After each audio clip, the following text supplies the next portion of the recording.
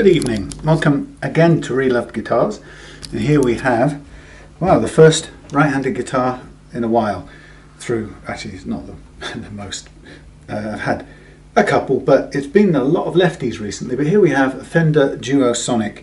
Um, this is a nice little um, made in Mexico jobby um, humbucker, single coil, three-way switch, very simple design.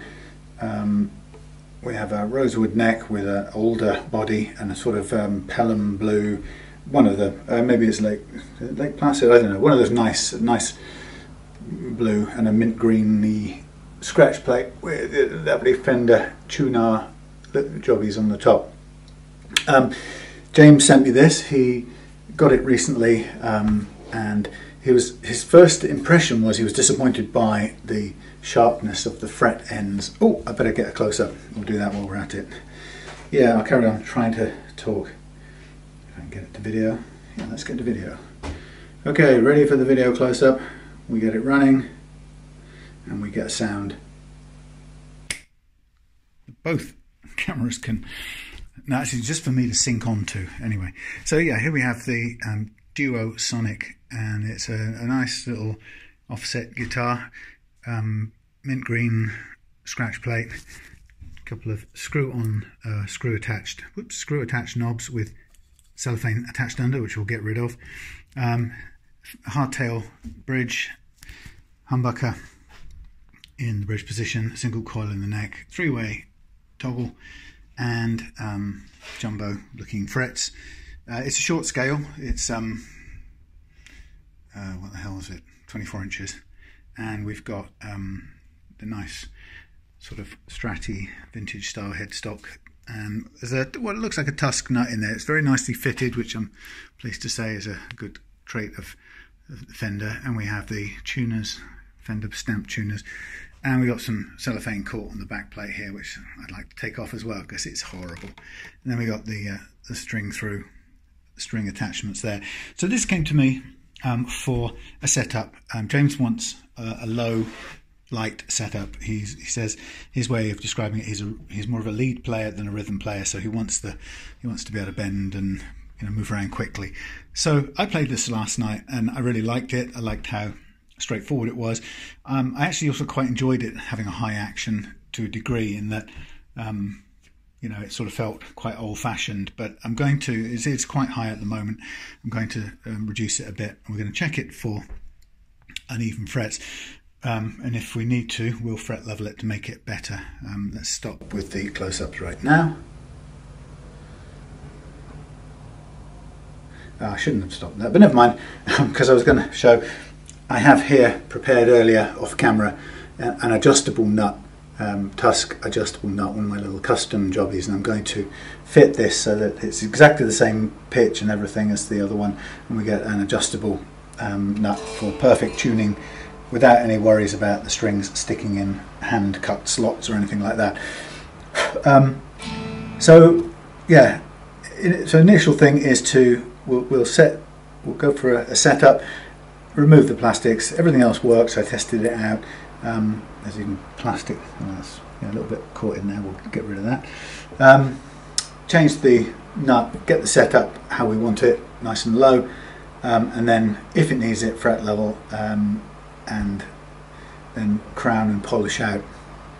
I did a bit of uh, a bit of a check here um, beforehand as well get some measurements done.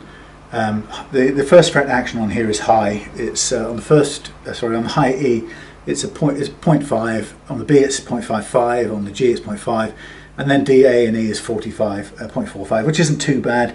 Um, but you know it's inconsistent and it's it's a sort of pretty good stab at a nut. It's not that far out that it would make it difficult to play um, but it's not it's not it's not ideal and that's what the the uh, Tusq nut's going to give us the the opportunity to get that sort of standardized across the um, across the game. uh, assuming of course that these are these machine cut slots are uh, relatively speaking good, and that, they usually are. That's that's what I found with these. It's very rare. I think it's about one in twenty. You get one slot that isn't as cut to the same you know um, radius as the others. Okay, so we're gonna we're gonna do that. The yeah the first fret action was a little bit high. the last fret on the high E is 1.6, which is higher than it needs to be. The low E was um, last fret action was 2 and again that can be half a fret less than that and the relief is quite big as well it was 0.5 and, and we can reduce that by you know at least half if not a bit more and that changes quite significantly the way the guitar um, feels just going to cut off for a minute I have to do something and I'll be back okay, so back again let's get on with this Duosonic um, so the first thing I'm going to do is I'm going to double check the relief and um, I'm going to take it down a little bit. People say, people say to me, what amount, how, what amount, how much amount of relief do I need? Um, and the answer is, it's, it's, uh, what's the word I'm looking for? Subjective. Um, it's as much or as little as you personally like. Now, point is, your strings need some, I'm going to have a longer one of these. Your strings need some uh, relief, some amount of curvature to allow the strings to move. You can play a guitar with the neck completely straight.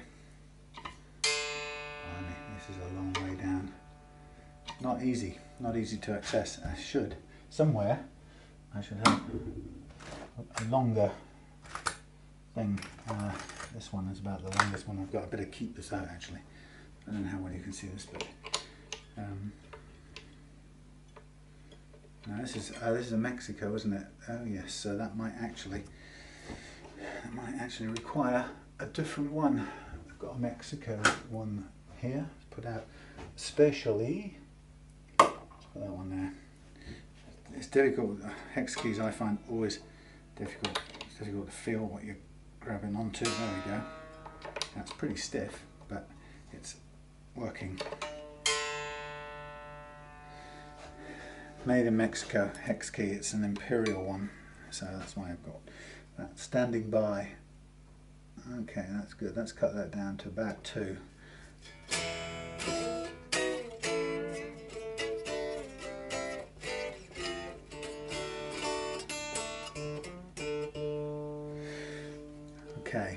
So we'll have, have, have another look at the uh, relief. And we'll, stick a, one of those thingies in it. Yeah, so the the, the short scale, um, 24 inch, 24 inch um, scale length. What are we looking at? That's too big. We want a 20. Let's start with the door. 25. 25 to 25. Yes, the short scale is a, is a different beast to other guitars. That's more, we'll come down a bit more. Think about, um, just going back to the relief a minute, think about the relief is, the relief has an amazing impact on the way a guitar feels and a lot of people, it's amazing how, how a lot of people are very afraid of uh, using the adjusting the truss rod. And this is very stiff this one actually I have to say. Um, blimey. Yeah they're afraid of adjusting it and I think you know there's a lot of a lot of times you get these sort of horror stories of or people fear that adjusting the truss rod will cause breakage or damage. Um, and it's it's very very very very difficult to break a truss rod unless it's already broken or it's waiting to sort of um, you know, seize up or snap or whatever, shear off. Um, you know, in which case, if it's rusted through some some something like that, it's been exposed to a lot of water or something. There's nothing you can do about it. Okay, well that's that's down to about 1.152 at the most, which is much lower. That's right in the way I'd hit it all the time.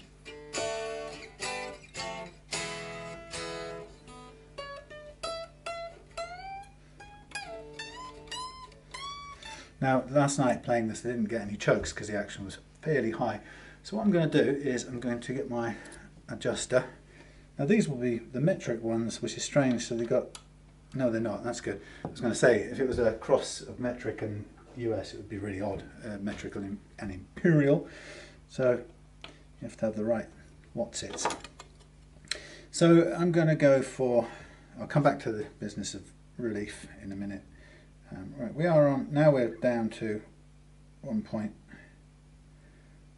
one point, just under 1.3 or 4, something like that, like a very tiny, a minor tiny adjustment. And this is quite a bit higher, so it can come down. A little bit higher. Yeah, so the the issue of um, truss rods, people can be a lot of people can be very nervous about adjusting them, and like I say, it's very rare that you can break them. You have to work very hard to break one. In fact, I've, I've deliberately tried to break some in the past in old necks that um, I no longer use or need, and it I found it nigh on impossible to break them. Okay, it's a bit better now.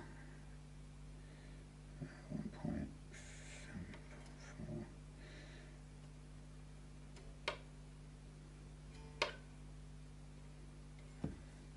Yeah, very difficult to break them.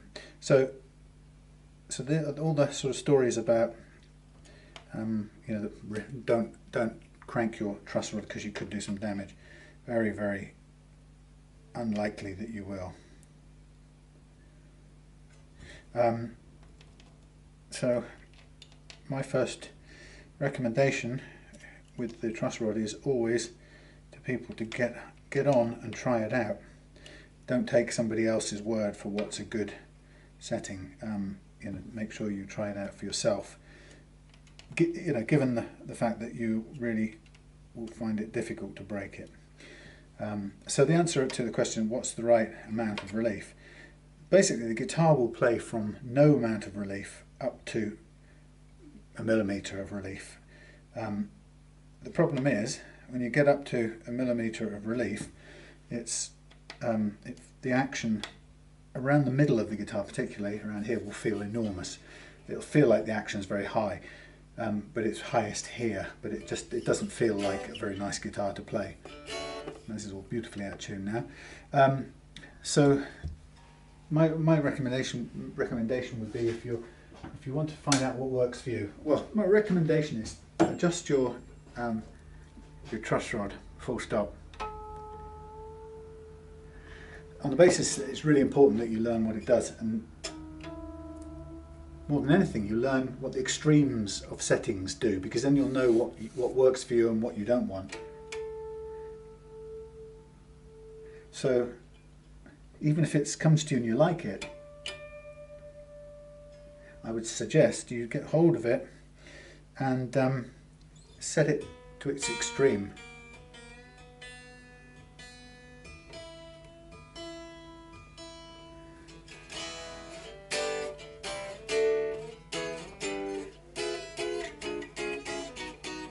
set it to its extremes and just spend some time playing it so you know what it's like when it's almost flat as a, um, the desert or whether you know when it's really curved and see how big a difference a small adjustment makes because there are times when I can set up a guitar and think it's kind of nice and then I, I go back and I flatten the neck out a tiny bit more and it just it feels like a whole new guitar, a whole different guitar.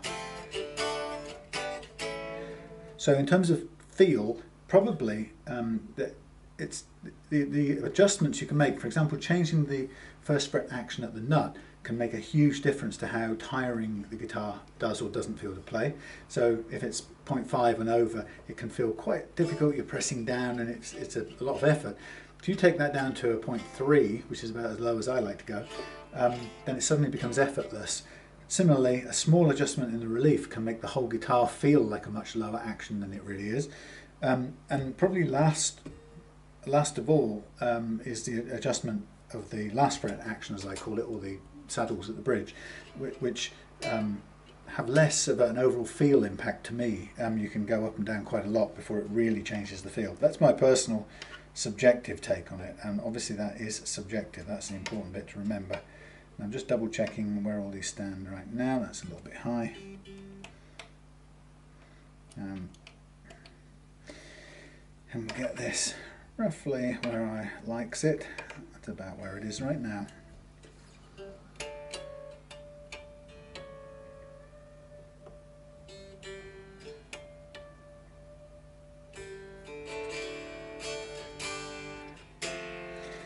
So here I have the guitar set at a lower action. Um, we, we still have the same nut in it which we're going to change. Um, I'm, I'm going to do that now um, and we'll reset the nut again. But I just wanted to, we can use this nut as it is just to test things out. So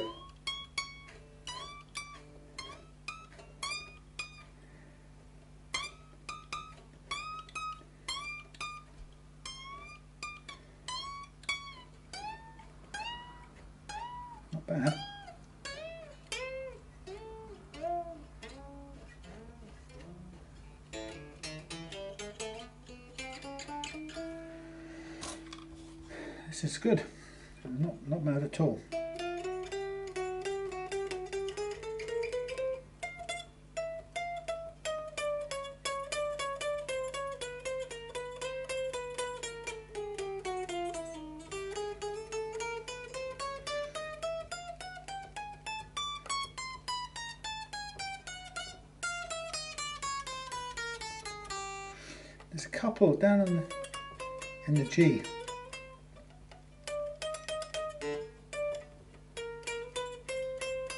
There's a couple of very, very tiny little zzz, and we're just about choking as we go right across onto the high on the high E bends at the top. But this is very, very good. So please do it. You know, report that's a good set of frets. I'm going to go ahead and level it anyway. That's what um, what James wanted me to do. Um, it, it's it, I'll do it because there is that tiny little bit of um, unevenness somewhere just around this this the G string at the top here.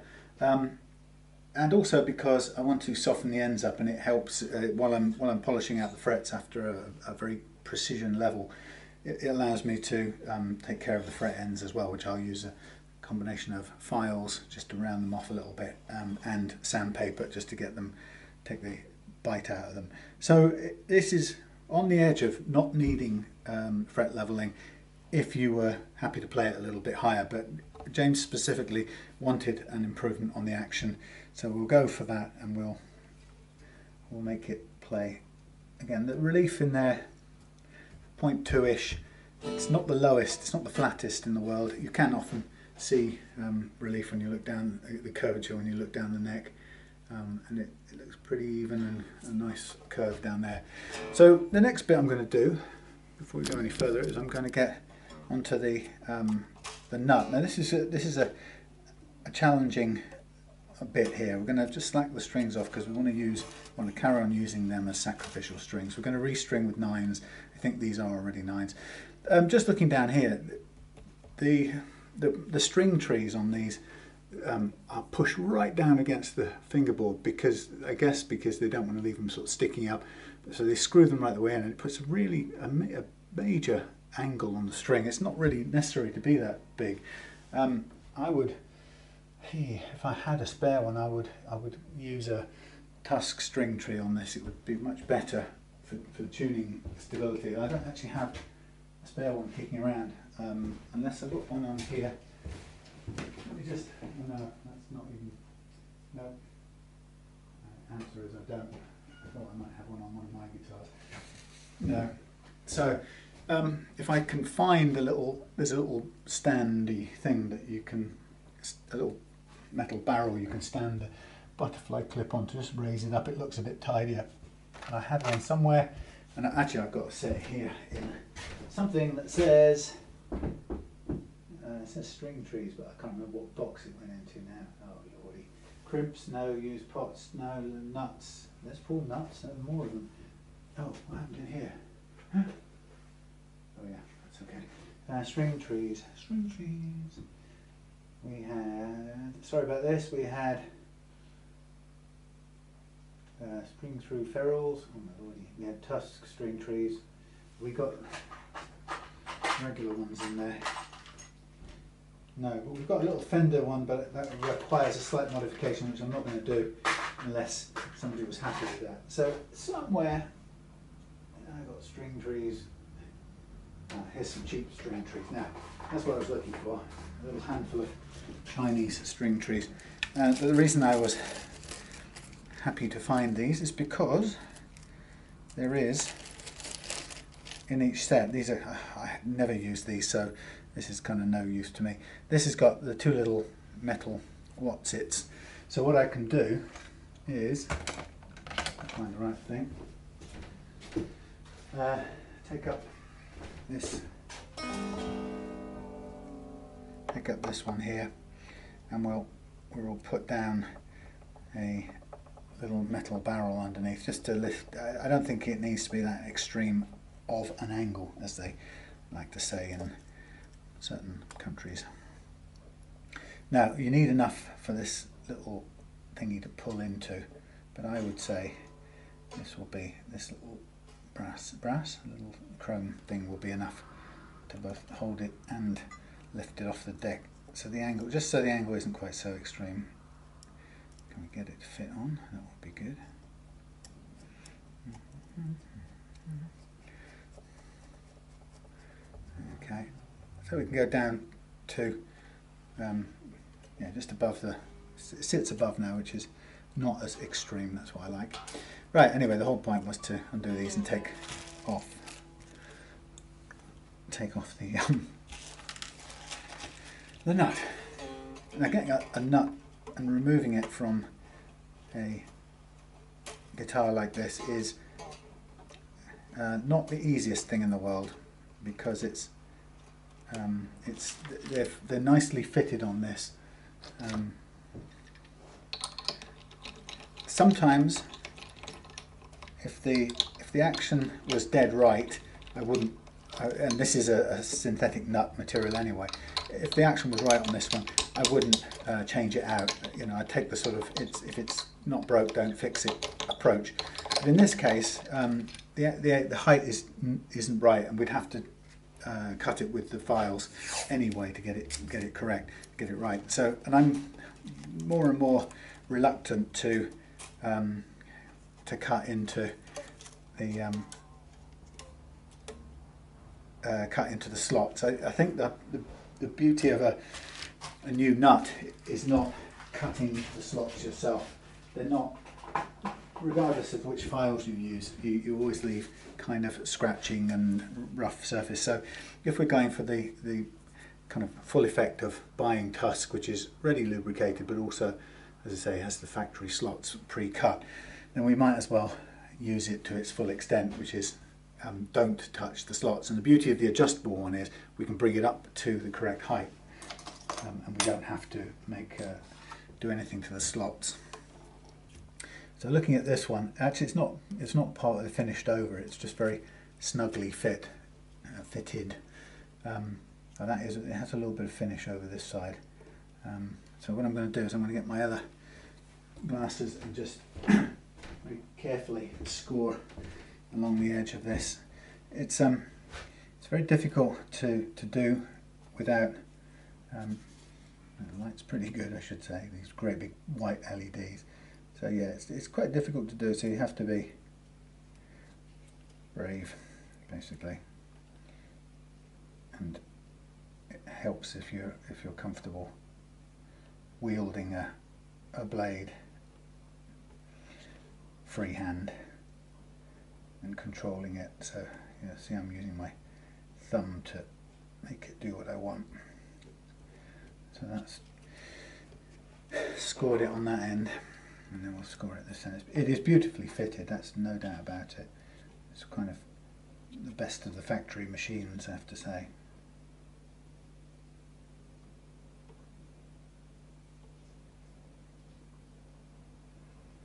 You can hear the rain a falling out here in West Devon.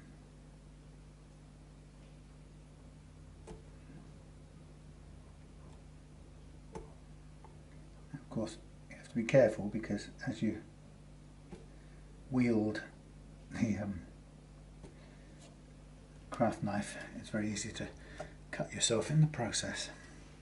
So on the other side, um, you just have to be conscious of what you've got down here depends how they, they finish. Sometimes they'll do the finish and then put the nut in after that and um, other times let's take a new get a new blade on this sometimes uh, sometimes they'll finish right up to the nut like in a in a carpet or a buttress if you like, and that can um, that can lead to quite a bit of cracking as the as you score down there um, because it's quite a thick layer. This one isn't like that. It's it's quite a, a neat connection. So I'm just I'm just kind of carefully running the blade down the very corner of the nut. You'll have a bit of stuff coming up. Obviously it's cutting a little bit of the finish or whatever went up against the nut itself. You can see a little, little it's like dragonfly wings coming up. And then once you've got that finish seal broken you can then just carefully go down bit steeper down the gap just to make sure you you've got a, a head start on it. Keeping your other fingers out of the way so you don't get yourself sliced in the process. Now I'm not entirely confident this is going to come flying out. So what I'm going to do is I'm going to put a little dent in it. Actually I'm going to drill a little drill is that what I'm going to do? Yeah I'll drill a little impression in it. Um, I might even do it by hand. Maybe I'll do it with a drill. Um, just so I have a, a, place to grip if I want to tap it and drive it. Because at the moment I've got no purchase. So I'm going to remove it. That's final. Um, so it might smallest drill bit.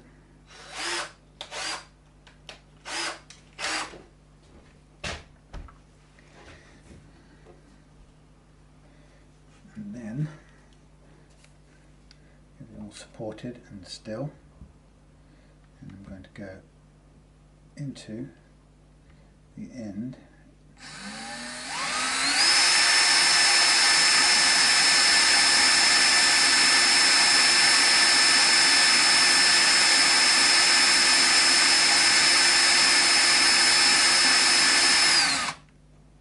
It's actually quite a blunt drill, believe it or not, but it's created a, a little little dimple for me to bite onto. I might get another one from on the drill press I just used for doing the um, adjustable nut. So this is a very delicate sort of part of the process. Um, sometimes this is a, like I say, it's it's sort of half and half whether I would put a, a want to put an adjustable on here they, they, I think they improve things all round. But um, there are times when you wouldn't, when it's obvious to put one on.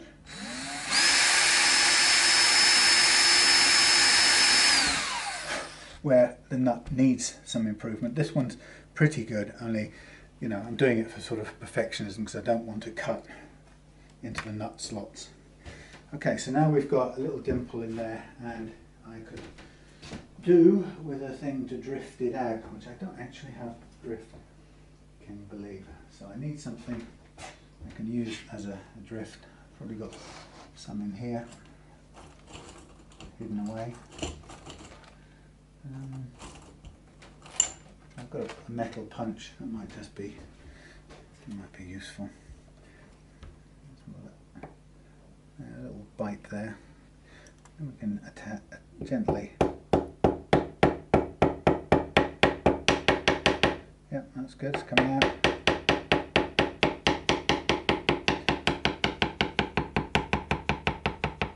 Being very, very, very gentle. I want this out, but I don't want it to break off any of the um, rosewood underneath or anything like that. So there you go, that's a, a nice, very safe um, little removal. Jolly good. Well, that's now that's taken me by a slight surprise because it's a, a curved um, slot, which isn't the end of the world because the, the adjustable nut works perfectly well on a curved slot as well. Um, but what we might want to do before we use it is we might want to replicate the curve or copy, duplicate the curve um, on the nut just to, since while we're at it, just to keep it the same. So what I'm going to do is I'm going to take out the little um, grub screws, which are tiny. And I'm going to map the curve onto the bottom of this one and then I'm going to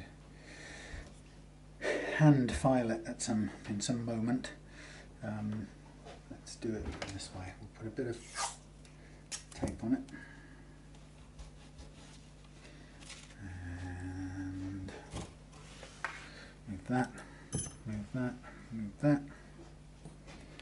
Get me my cutting board, which is always handy to have nearby. So first of all, cut me the shape the bottom of there.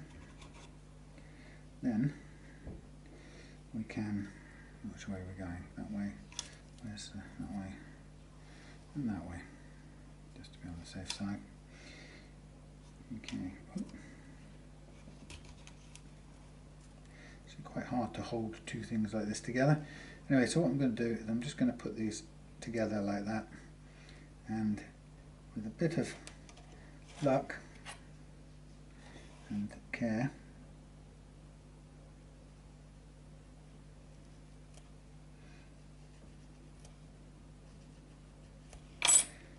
do that see what we've got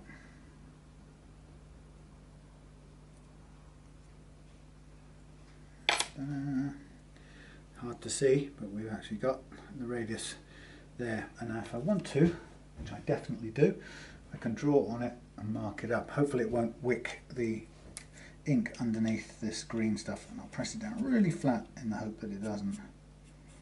Don't go under there, please. please.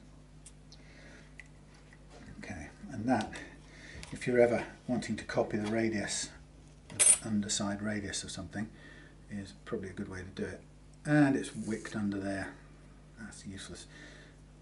It still shows me, I can see what it is. Um, but it's, why does that, you can never get a tape that doesn't, doesn't let the ink go underneath it. Anyway, I can, I can see the, I can see where I'm going. Right, so that is my guide mark. I mean, you know, it's a, if we didn't, Actually, this, you know what? I'm not sure this is a Tusq. Is it a Tusq? I didn't see in the specs what exactly what this is. It, this could be. It looks a bit more plastic to me. Uh, it's filed at the top. I mean, it's not bad looking at all. We, you know, if we if we wanted to have the adjustability, um, for example, with this, uh, and we didn't want to cut that, we could actually drill this and make this adjustable as well. So we've got the options to do that. But let's carry on with this one. I'll put that to one side. So I'm going to, um, basically, I'll get myself a little Dremel thing. I don't know how well you'll see this, but I'll do it by hand over here somewhere. And I'll Dremel it. Am plugged in? Yes. Dremel. And see if I can just work it to where I want it by hand. Well, actually, I'll put the Dremel in the vise actually and do it that way. Bring the workpiece, bring the workpiece to the Dremel. So forgive the lack of sound. Ah! There it is, that important thing.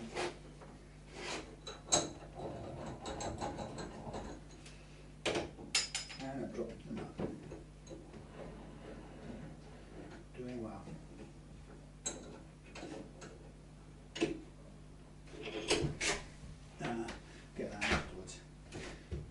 So, run this.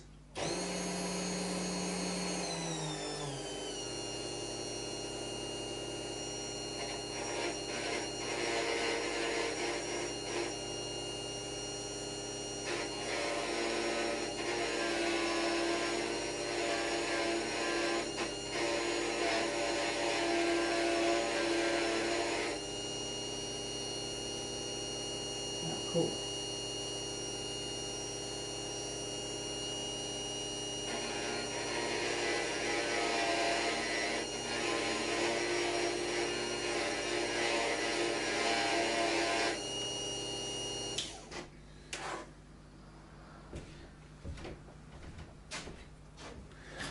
um, it's it's it's going to be what's the word? Hand carved. It's gonna. I mean, this in a way, this is just kind of to make it fit a little bit better in the slot, but it, it's going to stand on its feet anyway, so it doesn't have to map the uh, the curvature exactly.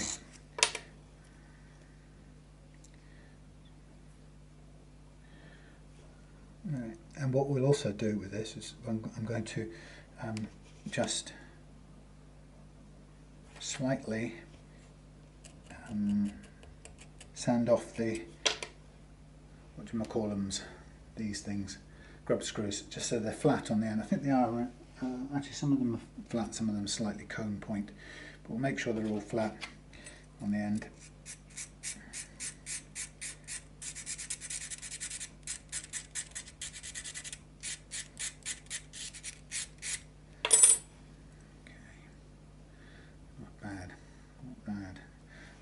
even get a little bit of sandpaper and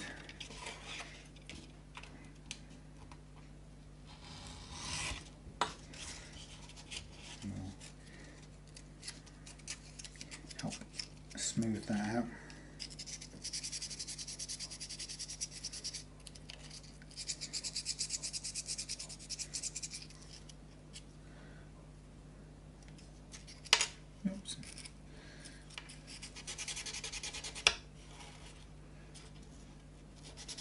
difficult to stand it up. This is normally um, normally not don't have to do this bit for replacing it because it's normally well, most of the time it's a flat slot. Um, they do make Tusq nut with the curved underside but I didn't get that one.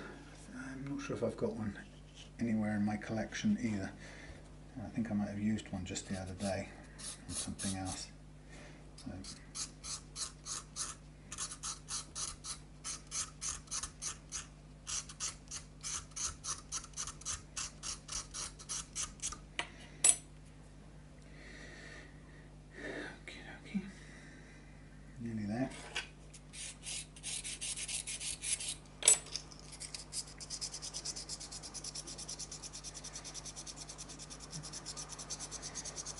lovely rainy night out there in West Devon, Dartmoor. Okay, so what I'm going to want to do next is I'm going to want to um, just thin this nut down until it fits perfectly well in the gap without any squeezing. I don't want to have to push it have to push it into the, into the hole. I've got a, a sanding board, but I'm kind of using this as a temporary measure. Um, if you're going to slightly thin down a nut, recommend doing it on its flat side or its largest surface area side so that you can keep it nice and um, flat to the block.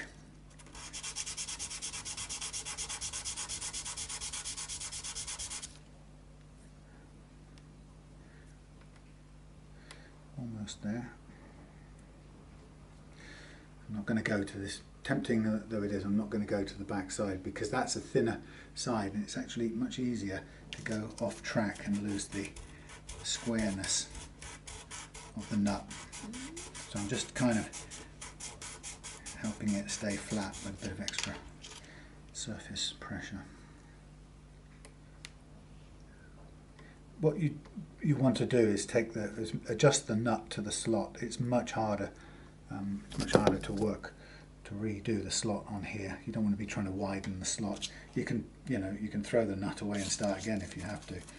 Um, but but you, you, really can't do the same with the. Well, you, you've got a big problem if you mess up the slot. Much bigger problem.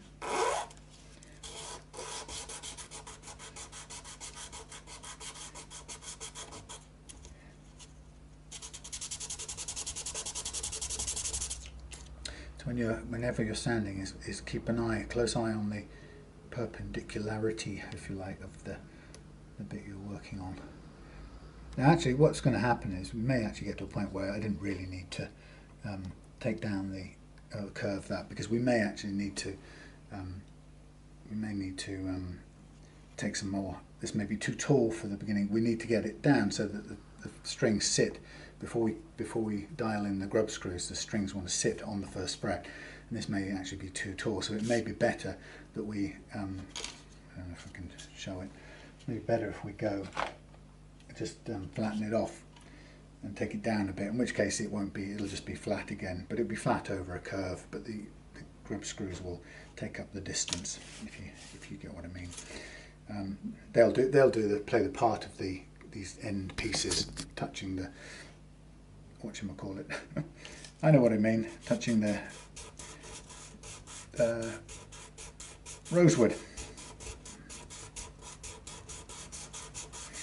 I'm just taking my time to get this down into the right sort of thickness for this slot because I want it to sit in the slot but I also want it to be able to move up and down so I, I really don't want it too loose but I, obviously it can't be jammed in there so we're just looking for very light sanding. You know we can always take a bit more off on that principle um, but we can't put it back on. So any minute there we'll get to uh, a fit that we can work with and we'll see how much we need to take off the bottom. If, if like I say if I have to take it off the bottom to get the height right then then you can forget the stage where I went to try and make the curve because it wasn't really necessary. But I kind of I often like to copy things just for the sake of it. Um, if it was sitting on the on the actual wood itself and we were gluing it to the wood then I'd want a curve on the bottom of the nut because we want it to sit firmly on the wood across the whole of the slot. We're nearly there on thickness. Um, the other thing is I've, I've tried making these adjustable nuts in the past with bone and bone for some reason, well for some reason, bone is, is a little bit too brittle to do this. Tusq can you can you can tap drill and tap a thread through the through the hole. There you go. That's just sitting in there now. Um, yeah, you can you can drill and tap with um, with um, Tusq, but you can't do it with bone some reason. Okay, so first of all, now that's that's going to be too tall, and we can we can test it um, by unhooking the. Uh, oh, I folded it on the inside, didn't I? That was clever of me. We can unhook the green paper. If we can't unhook it, then we can just cut it. Keep it simple. Uh, okay, so we'll just put that in there for a minute and we'll just tighten it up. We'll just see where it sits to begin with. And it's, uh, it's yeah, it's under under tension and it's too tall. So we want to take it down and we can take it all down from underneath. Uh, we'll just lift it out there. Now for this I will get the larger sanding board. Work, work my way down. This has been sanding all kinds of things, so it's quite well used. Okay, so with this now, if I'm sanding downwards, I want to keep a cross, I want to keep it sort of flat on the bottom section and you just have to sort of keep checking and make sure you're taking it down at the same sort of rate um, and keeping that nice square section.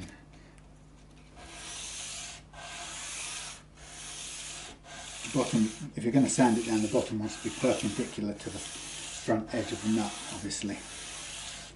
Um, it takes a bit of practice and constant checking, uh, and eventually you'll get to a place where um, you can put it back in the slot. Now, what I know about this is that it's going to, on its own, it's going to rock because we haven't got the grub screws in and it's going to rock around the curve but that's okay for a minute um, but again we're, we're, we're, checking to see where how much we've taken off how much we need to go. So it's quite a bit. And this is going to be a, a thin nut by the time we get it to where we want which is what I also quite like about it.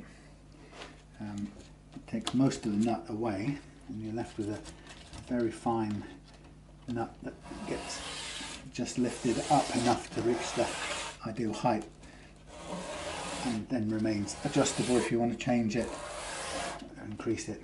But starting from the strings touching the first fret at, at its sort of resting place is a good place to begin because um, then you, you can always go up from that point. Okay, quite difficult to grip a nut at this stage, so you need to sort of get used to. You see, I tend to hold the piece and move my whole body, so I'm, I'm I know I'm making a, a flat square base on the bottom. Um, so what will happen is, once this sits in, it's going to sit nice and low, and I'm, I'm checking it out on the, the G for the time being, just because it's there and it's in the middle and it won't cause the thing to rock too much.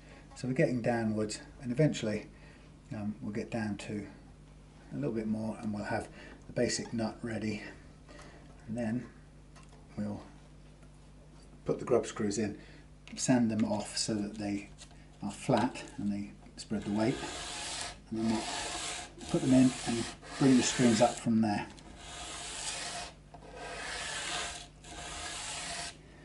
Okay so always checking. Again if you get it wrong you wasted only a, a 10 only a 10 pound nut, which is much better than messing up the slot or you know, anything else. So you can always just buy another one.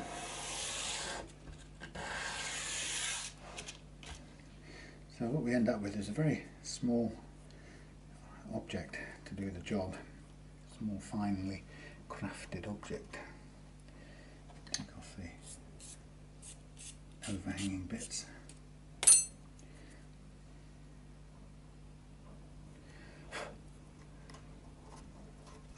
Become very, very, uh, whoop, sits right low in the slot.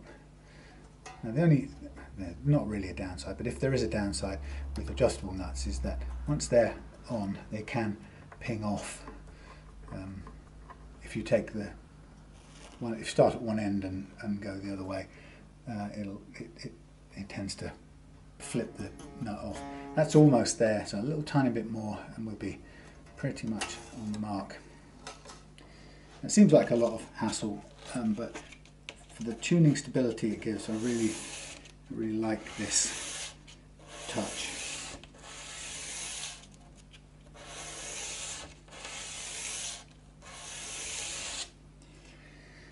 There we go. I've had people say things like, "Oh, I don't know about things things on um, standing on two points. You know, won't that affect the sound?" And it it, doesn't. Not uh, not in my experience of it. Okay, we're almost there now. We're down to.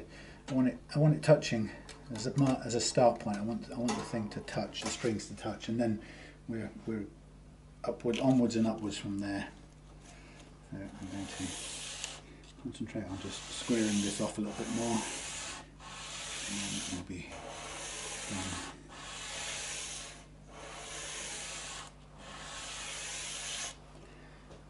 Yes, lovely. I think that is pretty much it. Right. Such a delicate little thing really. Um, okay, let's get this paper off here, sorry touching, yep, touching the thing. Okay, so the next thing I'm going to do is I'm just going to retrieve my grub screws and using this thing I'm going to very gently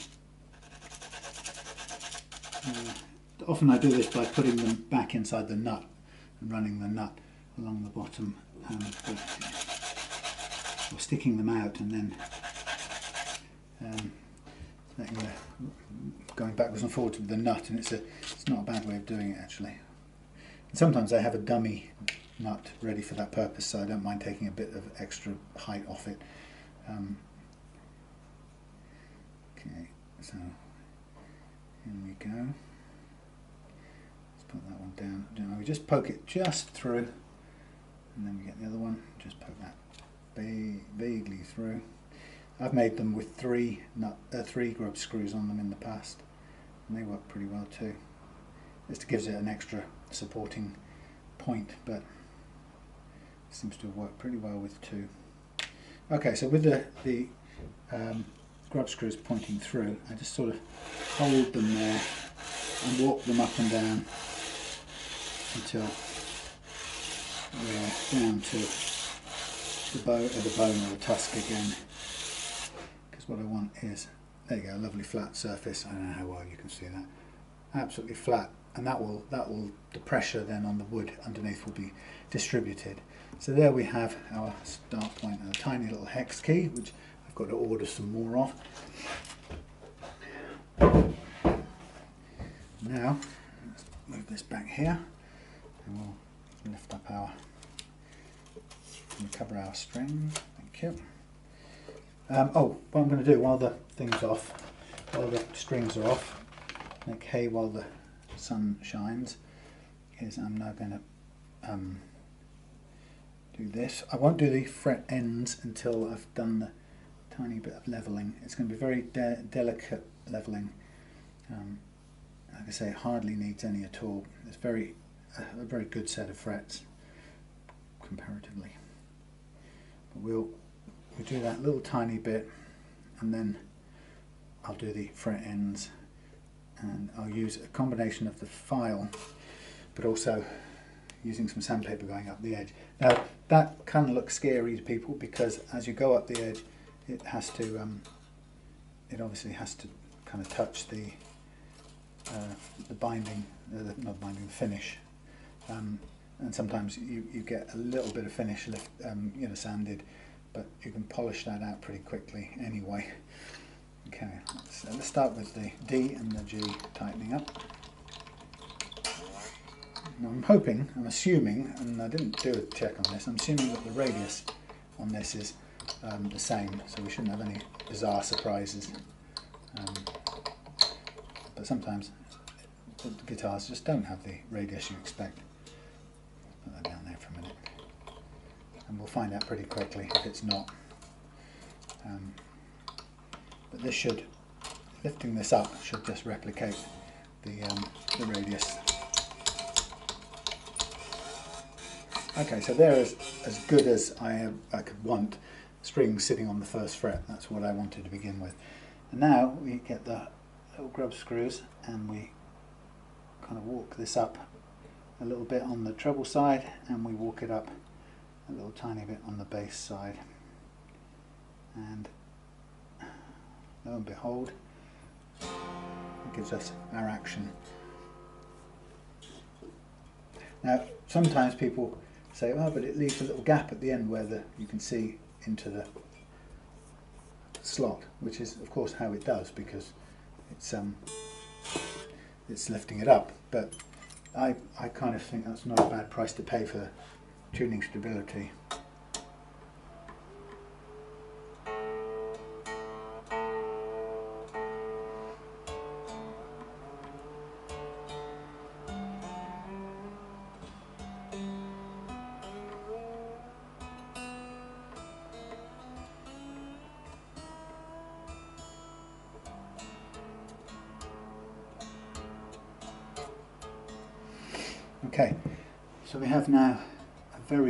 Low action at the nut and we can adjust it to whatever we want. So there you have it. That's uh, slightly non-standard because of the curved um, nut business. I, I, suppose I could, could I make one that had a little drop bit? That, no, because then you couldn't set it down. No, you'll always get a, a little gap. That's just the way it is. Um, but I, I think it's not a bad price to pay. Right, got to take a break a minute. Just going to wash my hands. Back with you in a second. So we are on to the fret leveling, and here we go. A few things now. Fret leveling tends to produce a bit of dust and grime, so I like to keep it off my new carpet if I can. Uh, it feels odd to be doing fret leveling on a right-handed guitar for first first time in a while. I need one of these. So, short scale fret leveling as well. Pardon me. Somebody asked me on a video, why are you using why are you using the StewMac uh, U-channel truss rod for your fret um, leveling? And I didn't really have a good answer other than the mood struck me that way. Um, that was all there was to it really. Uh, they, they, they have sort of slightly different qualities, these different truss rods. Um, and sometimes one appeals to me and another one doesn't sort of thing. So uh, yeah, the, the, the StewMac U-channel one is a wider one and it's a bit stiffer when it's in, you know, when you've got the, the curve dialed in. And it's neither better or worse. This one's thinner um, and a little bit more flexible. And sometimes I just feel like the StewMac one is the one for me, and sometimes I don't. Anyway, um, I'm, what I'm going to do is I'll do an insert here on video because I know that James is interested in this sort of stuff. Um, he was interested to know if there's going to be a video. And on the close-up, I should be able to again do a sort of visual cue at that point. right, so when you've done uh, the first sort of pass with the fret leveling uh, tool, you can see here it's leveling, it's taking some off there, a little bit off there, not much off there. That's a low one relatively. Those two are a little bit low. then the rest of these kind of in a very similar uh, height. We're talking tiny fractions of, of millimeter here. That one's a little bit low. That one's a you know high-ish like the rest. A little bit low.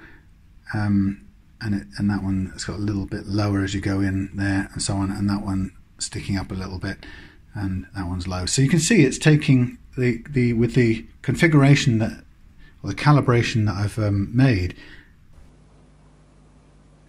you can see it's cutting a little bit on all over the neck. So it's telling me I've got the calibration right.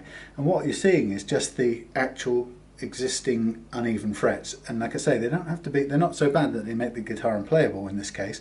Um, but it just it, it's very good to know if you're going to use this method at all you get um, the experience of reading what the uh, cut marks if you like are telling you.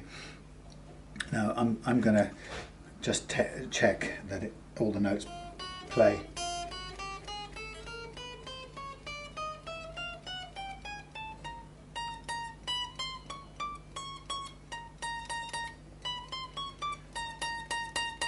that one there is the only one at this action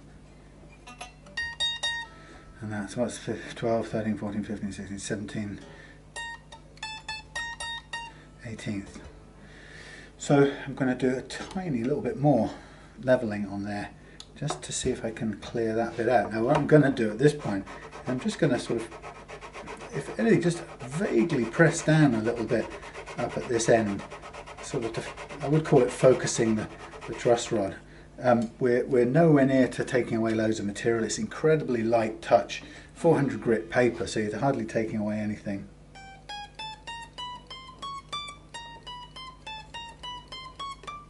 And that little tiny touch there has taken away that hint of a zzz that we heard.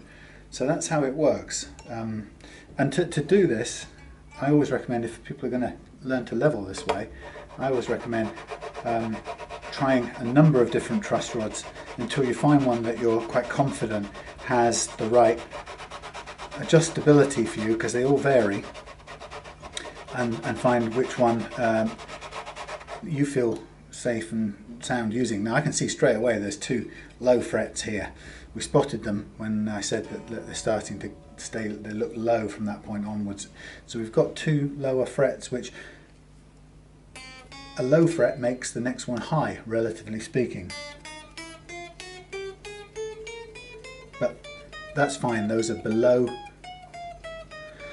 below the level of the chosen action. So not a problem at all. We don't have to keep on going until they're all um, ground down and you know ground equally or they've all had the black marker pen taken off. And actually that what, what that is what makes this method one of the things that makes this method quite a lot different from conventional fret leveling with the fret leveling file, uh, which I showed before, I've shown many times before, that I, I started out on, and you know it's perfectly good for what it what it is, but um, and, and doing your frets this way is better than not doing them at all. But this this kind of fret file and you know checking with a rocker will kind of demand that you take, or you, you, the convention is you, you keep going until you've got no more clicks on your rocker, but also you almost always uh, have to take material off all the frets, so you'll never have any left black like I do.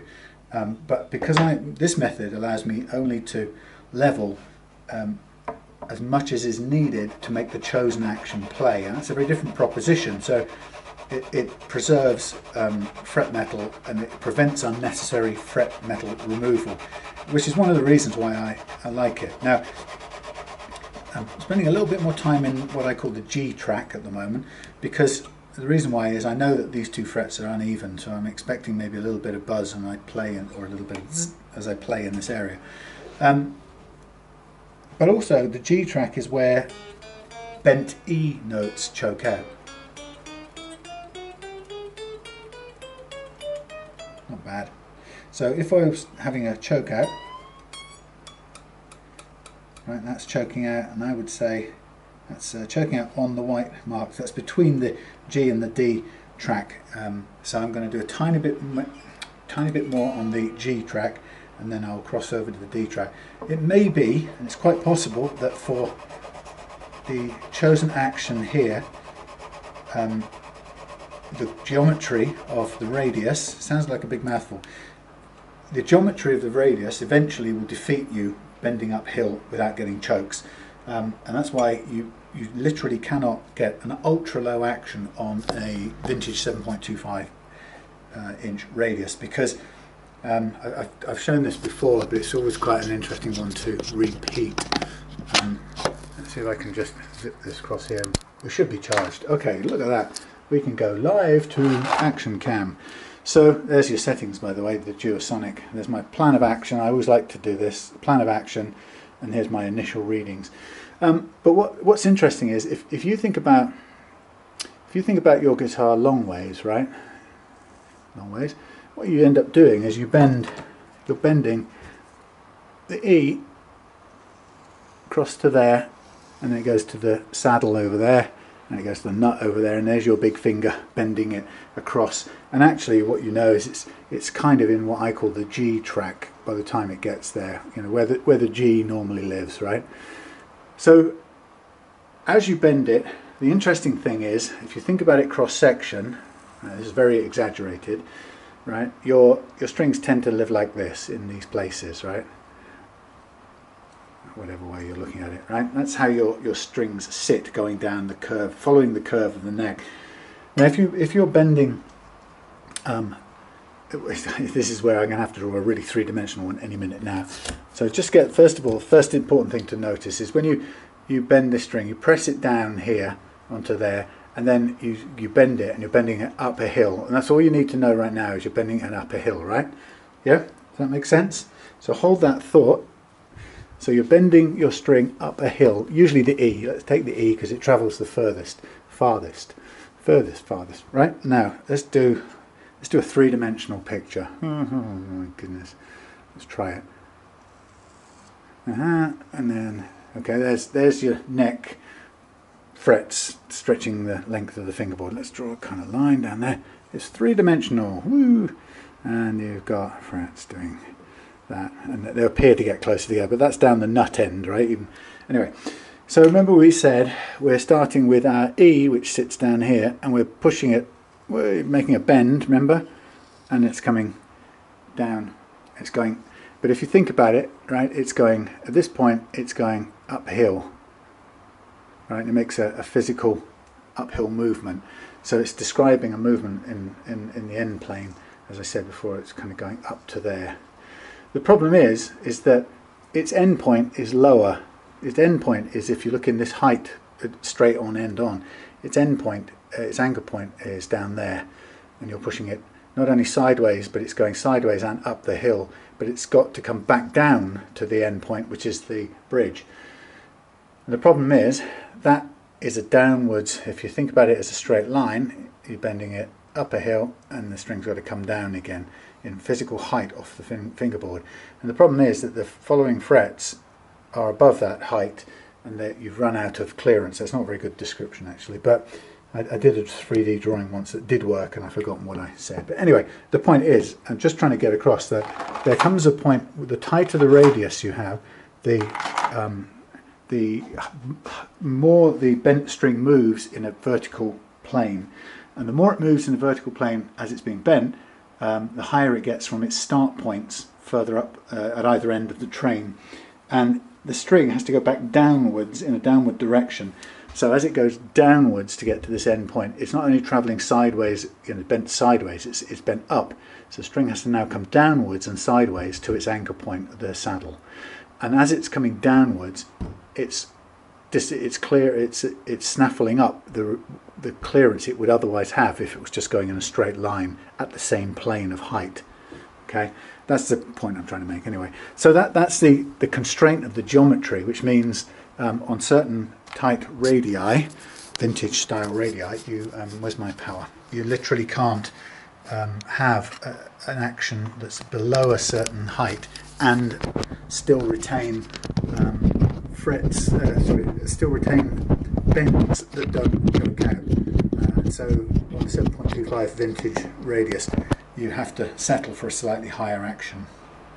Now all of that chatting, I've forgotten where I was. I'm going to do the uh, I'm going to do the D track now. So I think the D track is the last bit now where I might eke out a little bit of congestion and we'll, we'll then clear up any constraints on the bends. But this is a, I think it's a, a 9.25, I'm not, I didn't look on the spec actually. It's either 9.25 or a, or 7, but kind of might be a 7. Um, but anyway, it's we're going to see. I think we can get all the bends out of it. It's not an un, it's not an extremely low action. It's it's my normal target action, but it's neither, and it's not it's not pushing it too hard. But because of the, um, you know, it, it follows that because on bends the strings are going back downhill. Okay, it follows that anything you can do to precisely remove uh, sticking up frets that are also stealing your clearance, anything you can do to remove those or flatten those out, then the more likely, you know, the, the extra bit of low action you can get for that otherwise tight radius.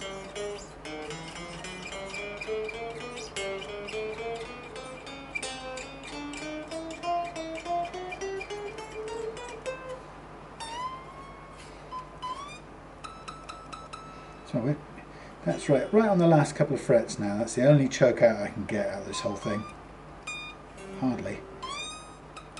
And that's almost in the G. I'm going to go back to G, I'll recalibrate for G, and I'm just going to concentrate on those last few frets only, just to see if we can get that bend. I'm struggling to bend that far, my fingers aren't very strong. But we'll just recalibrate for the G track, and I do it to the north, I call it, uh, the far side of the track as I'm looking at it, and it's, it's already calibrated, so I don't need to adjust it. But I just, whenever I move around, I I check to make sure. And then what I'm going to do here is I'm going to literally just, where I heard the choke out, I'm going to focus my attention. And by that I mean I'm actually going to just slightly press down on those last few frets because what I want is I just want to take away any obstructions to those bends. Now, some people might be thinking at this point, oh, is that the same as what they call fall away on, you know, on Les Pauls and stuff? Well, you, you could call anything that frees up uh, frees up a bend that might be choking, anything that gets uh, removes an obstructing fret near the end of the fingerboard could be called a fall away. But this is just this is just focusing a bit of extra leveling energy on it. Um, just sticking a bit, sort of working at this end of the rod. You can see I'm still pressing down over here so it's all working at the same time but I'm just kind of doing a bit of extra work at the end here and then what I'm hoping to do is I just want to make sure that that, that little E is as low an action as possible um, but we don't have to sacrifice the ability to bend right up into that track. That's as good as it's going to get. Ah, and uh, you can see it's made my fingers go black. So we're going to move on to the A track, again recalibrate every time I move. Um, whoa! I've lost track. Where am I on this board? It's, it's uh, yeah. it's kind of force of habit really, of sort of knowing where these brass dome knobs sit or where they live. So we're on to the A. Um, just moving the strings a little bit out of the way. Um, if, if you know, if you know, recognise or have seen a similar tool, commercial tool to this, which I learned this method from by buying it and using it and actually being converted to this method, um, then you, you probably see that the sort of only downside, if anything, of this particular tool is that we have to do this moving the strings out of the way business. Now, I think given that that costs nothing to make and does a brilliant job,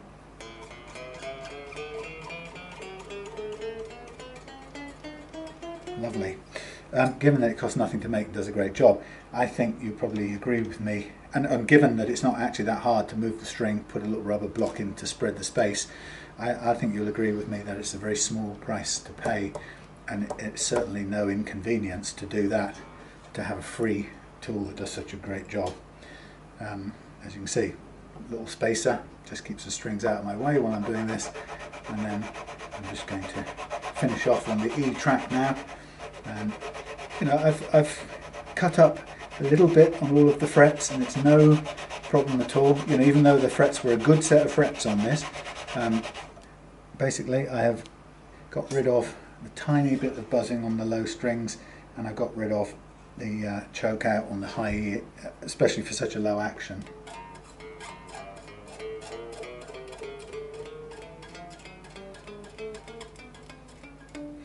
That's great, happy with that.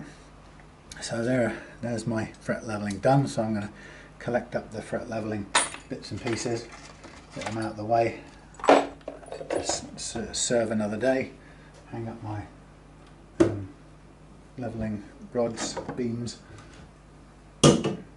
which stick nicely to my magnetic shelf. Um, now what I'm going to do is I'm going to take off all these strings.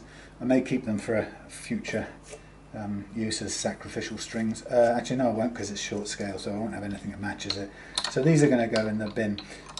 Now this is for you James, this is all for you, um, but when you come to change the strings in future take them off one at a time from the one side to the other so you leave the ones in the middle on last. Um, that way it won't flip the nut out of the slot and over the other side of the room because it can do that. And the same, put the strings on that way, start with the middle and work outwards just to keep it in place. It's just a sort of habit that I've got used to. And don't, you know, once you take the strings off, um, you'll be able to, uh, you'll be able to take the nut out and put it back in again when you're ready to restring. so I'll just cut these off for, for speed of operation, but also because I'm not keeping them for any purpose. Um, the only thing about this, I want to stick these things because a lot of the magnets come off when I lift up the tool and it's a bit fiddly. So I might actually put a dab of resin or something. But the problem is, um, the because it's metal, the paint I painted over it is a bit sort of doesn't stick very well. Um, so it's, it's hardly going to stick a blob of resin. So I think I'm stuck with having to take the tool off and then replace the magnet. Okay, so um, so here come the strings, dead strings out the back, and we're ready to clean up, um, clean up the fingerboard, and then we'll be ready to do some fret filing, followed by recrowning, um, and the whole job of polishing out through a whole range of grades of sanding. Um, so I'm looking down here, and I can see a tiny mark where the frets, uh, where the grub screws are touching the um, wood. They're not even compressing it, which is great.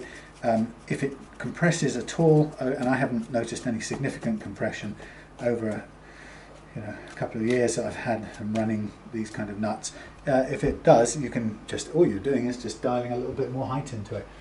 Um, while I'm at it, I'm going to just take, so get a screwdriver just take off these little the, the knobs here um, so that we can remove that horrible uh, horrible plastic cellophane stuff because it's annoying me. Now I can't for the life of me, find the one I was looking for, but this will do. Quite tight, so there we go. So get your knobs off, get your knobs off. Um, if you want to be really fin finicky, you can take the whole of the pot, undo it from inside, but that's a, a bit of a big deal. The other way to do it is to cut round, very carefully cut round the washer, and you get most of what's there off. Now, these are good because they're they're um, solid shaft, which I like. I should remember to buy those, more of those. They're much better design than those knurled, uh, sorry, split things. Excuse me, which always break if you adjust them at all. There you go, look at that, horrible. So I'm just going round the outside of the washer. Again, not a problem to do that because this will never be seen by the naked eye underneath the knob, but it stops that horrible rustling business that goes on as you sweep your pots around. Now these should, I think they should be able to sit right down low. Let me just see if they can. It's not, no, it's not a switch or a button.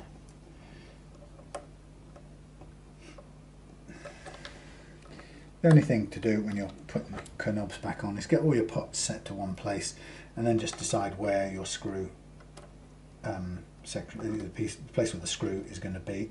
So just so the two of them go to the same place and it looks looks orderly, or um, either orderly or OCDE, whichever way you choose to look at it. This I don't this this. Hmm. So sometimes what happens is you put the knob on and it sits at a tilt, um, which I don't like. this one, for some reason, this tone one is isn't sitting flush the way the other one is. And if I tighten it up, it seems to want to kind of pulls it into a slightly uneven position.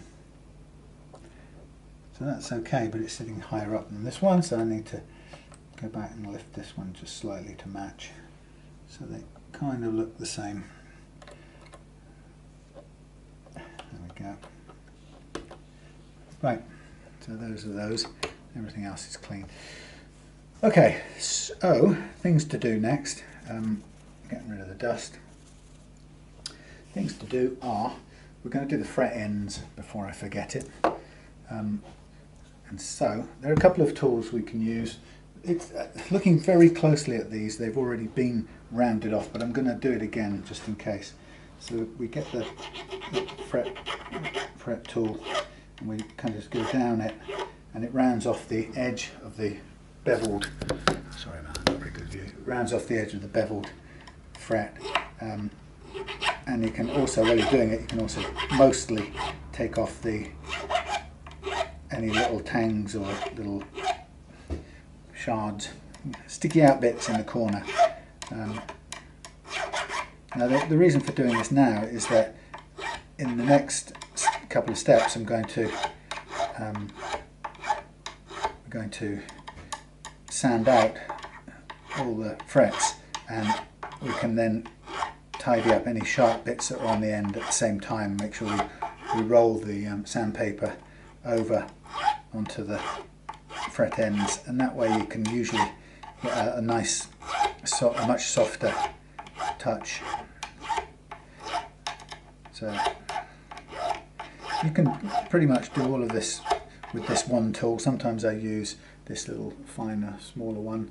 Um, it's got a, a, safe edge to it, so you can run it down the wood. Both these have all got safe edges, so that this this can kind of run down the wood, work on the fret, but without scraping or putting a telltale zigzag. There's a there's a kind of herringbone effect you can get if you if the edge of your fret, uh, edge of your file is sharp and often you can see it as a telltale piece of history, um, uh, kind of residue of somebody else's fretwork.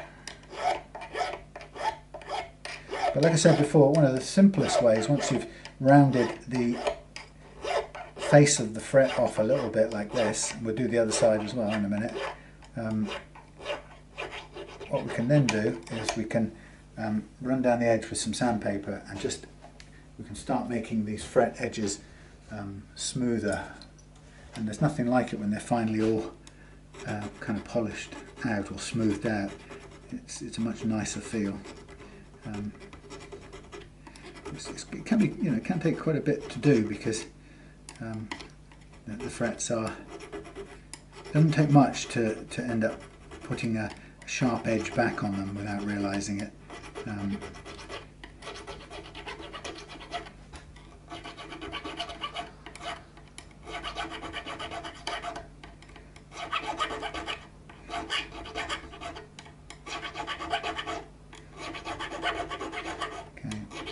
repetitive, boring.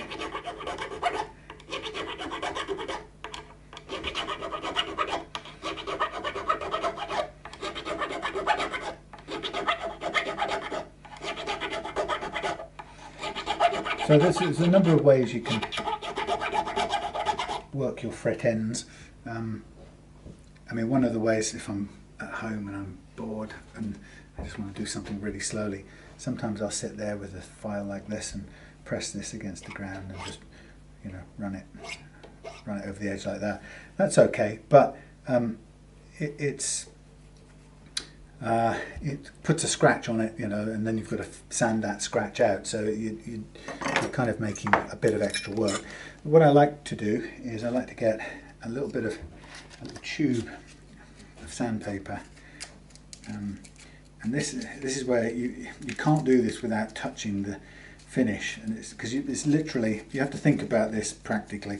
If you're going to change the edges of these frets it's impossible to do it without touching the wood on the edge. You, there's no way you can just treat each fret on its own. So what you have to do or you can do is you get a little roll of um, sandpaper like this and we're going to just run it up and down along the mostly along the end of the fret. Now it, will be just skipping over the, the edge of the fingerboard, right? And you will raise a little bit of dust. But if you're careful and you watch where you're going, you're just mostly working on the fret end. And because it's a round tube, the other nice thing that will happen is it will sort of roll inside um, on those edges where you just put the file. So this little running down with the leaning, leaned over sandpaper um, gives you a softening off of the frets, um, which is, is, a nice touch. And if you want to go even further, you can you can flatten this. Um, two different things. If you do it in a ro rolled up thing, I'll do the other side the same. It, this is this is, and you're sort of about what 30 degrees. This is rolling up and over the fret, the edge of the bevel, and it's helping to round off and smooth off that bit that we already just smoothed off. Be very careful down here. If you're not confident, take that off. Um, I'm fairly confident doing it. So I'm just letting this tube roll over those fret ends um, and then switch to the other side and do the same again. Um, and then what we can do afterwards, I'm changing, just re-roll it the other way, but then afterwards you can flatten it down and you can then run down and just get the faces of the, the beveled frets. And that will give them uh, a really nice finish too or you know start shining that up. And again you can pick that up pick the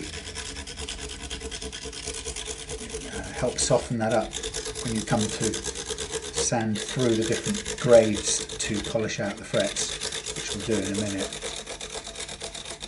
uh, so you can hear this sort of clipping the edges of the, the frets where they were sharp okay now, in this case, I will put a bit of tape on because if I'm going to run this down the edge now, I'm going to want this out.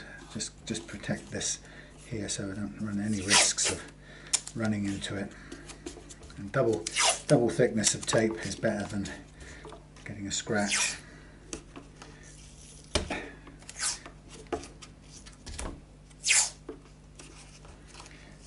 Give myself a, protect, a protective barrier there. So now what I'm going to do is I'm going to slightly flatten this down, crush it like a flattened tube. Now I'm going to hold it and I'm going to direct it down those fret ends with my fingertip. Now this is going to polish up very ends of the beveled sloping faces and you can see of course it's it's it's catching a little bit of the um, fingerboard edge. I say you, you, you can't get away from that, but as soon as you take that away, you start to see that you're getting um, a nice softened finish. Now, have a pair of scissors handy because once you've scuffed up a bit of your tube, you can either fold it around the other way, or you can inside out it, or you can um, you can just chop it off with the scissors. So now what I'm doing, I'm just watching, and I want to get the very edges now of the frets because I, I want to take away any file marks, and I want those things to shine at me. And if I can get these nicely uh, edged off now, they'll, and I'll do the same with 600 in a minute, what we'll get out of this is a beautiful finish. All right, there you go. And they're nicely flat that side. And then we'll go over and we'll do the same on the other side. Like I say, it can look a bit scary if, if you've not done it before because it has to it has to just you can't avoid touching the edge of the fingerboard. Luckily, most people kind of like less than razor sharp fingerboard edge anyway, so this only helps that process. It sort of rolls it just a little bit, but the main reason for doing this is to, is to get those slanted beveled edges um, cleaned up so that they can start to shine and they're soft uh, to the fingers.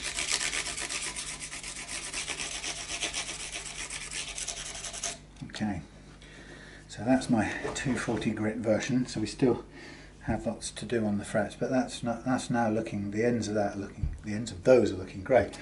So before I go to the rest of the work here, I'm going to do another bit with um, another bit with 600 grit tube. Again, starting off with it round, and I'm going to let it bounce down up and over the end bits in and out of each fret and the tube sort of lets it round off both sides of the fret end. Right, I'll do that down the other side.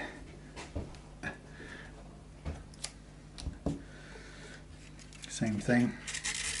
Again, this is at a very steep angle, so it's only doing the tops and edges of the frets, not really hitting the fingerboard edge, uh, hardly at all. But we will in a minute, I'll flatten it again. So that's, that's doing my best to soften the edge.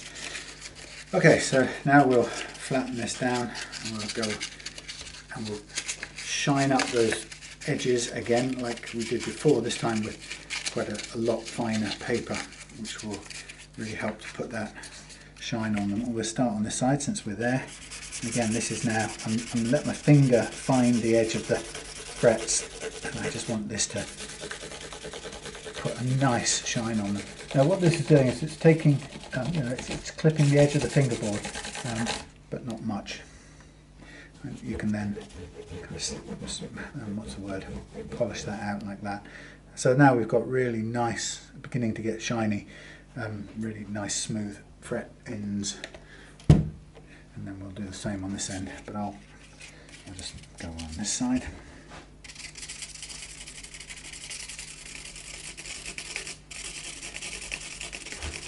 So anything from 600 onwards now will be just shining these fret ends up. Um,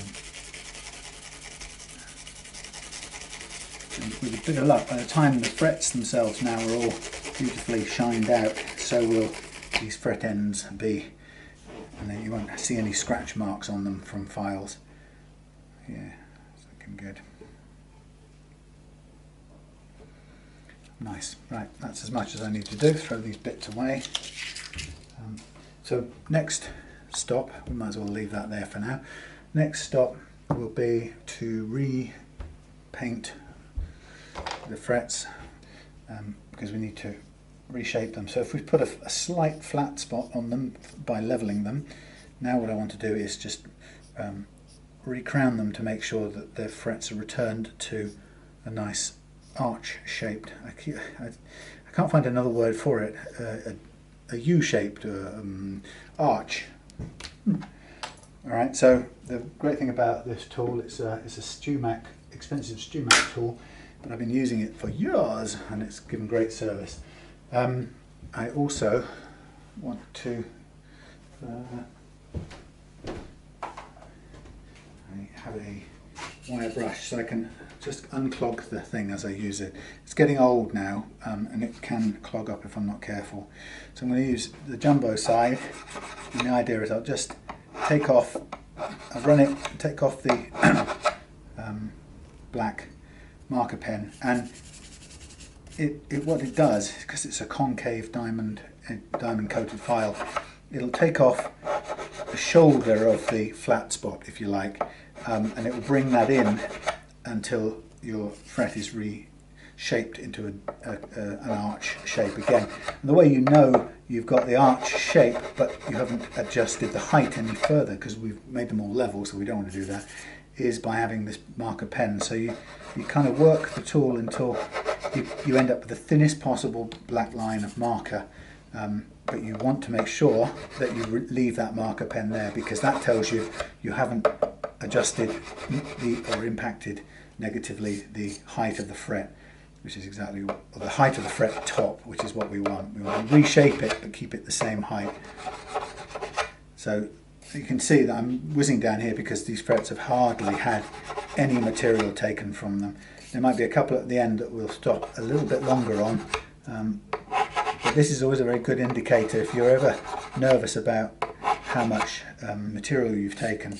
It's it, when you practice doing this, th this part of the process each time will confirm or challenge what you think because you, you may think you've taken loads of material. Uh, if you have, this part will take a fair while to do.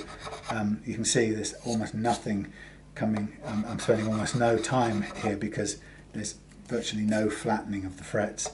Um, but we still, it still was enough to get to where we wanted with uh, even um, you know, getting an overall levelness. So I'm quite happy with that. And actually, there's so little to do. Um, it, this just goes to show that the amount taken. There's a bit in the middle of here now because I knew there was a little bit in the centre of that fret. took a bit of levelling, and that's where the um, that's where the choke excuse me the choke out was coming. And there'll be a little bit more now on this end fret too. So for the first time I'm stopping and doing a bit of extra hard work on there just to bring the flattened the uh, sharp edges back in or getting rid of them until we got a nice D shape. Okay, so there we are. Frets leveled, ends um, softened up, and we're going to carry on doing that with the grades of sandpaper that we use. Um, it gets a little dusty when this goes on, but we can always wipe that off very easily. Um, my hands get dirty, so I always make sure that I wash them before I get anywhere near the new strings. Okay, so the next part of this process is to mask off the fingerboard ready for uh, polishing out the frets. And somewhere I've got new tape, low tack masking tape. It's here. Um, I need to go to the market and get some more if it's if they're running. But um, so this this will will now put on a load of tape to protect the fingerboard, and then we'll get into the process of the the final polish out using a range of grits. Um, I'll go off camera for that because it's a bit boring for me, so I can put the radio on and at least have a bit of entertainment. It's about half an hour of sanding different through all the grades. In fact, I did three different fret levelings yesterday, and I was so sick of doing it by the end of it. it, it you know, I've done it 2,000 times or something since I've been doing this.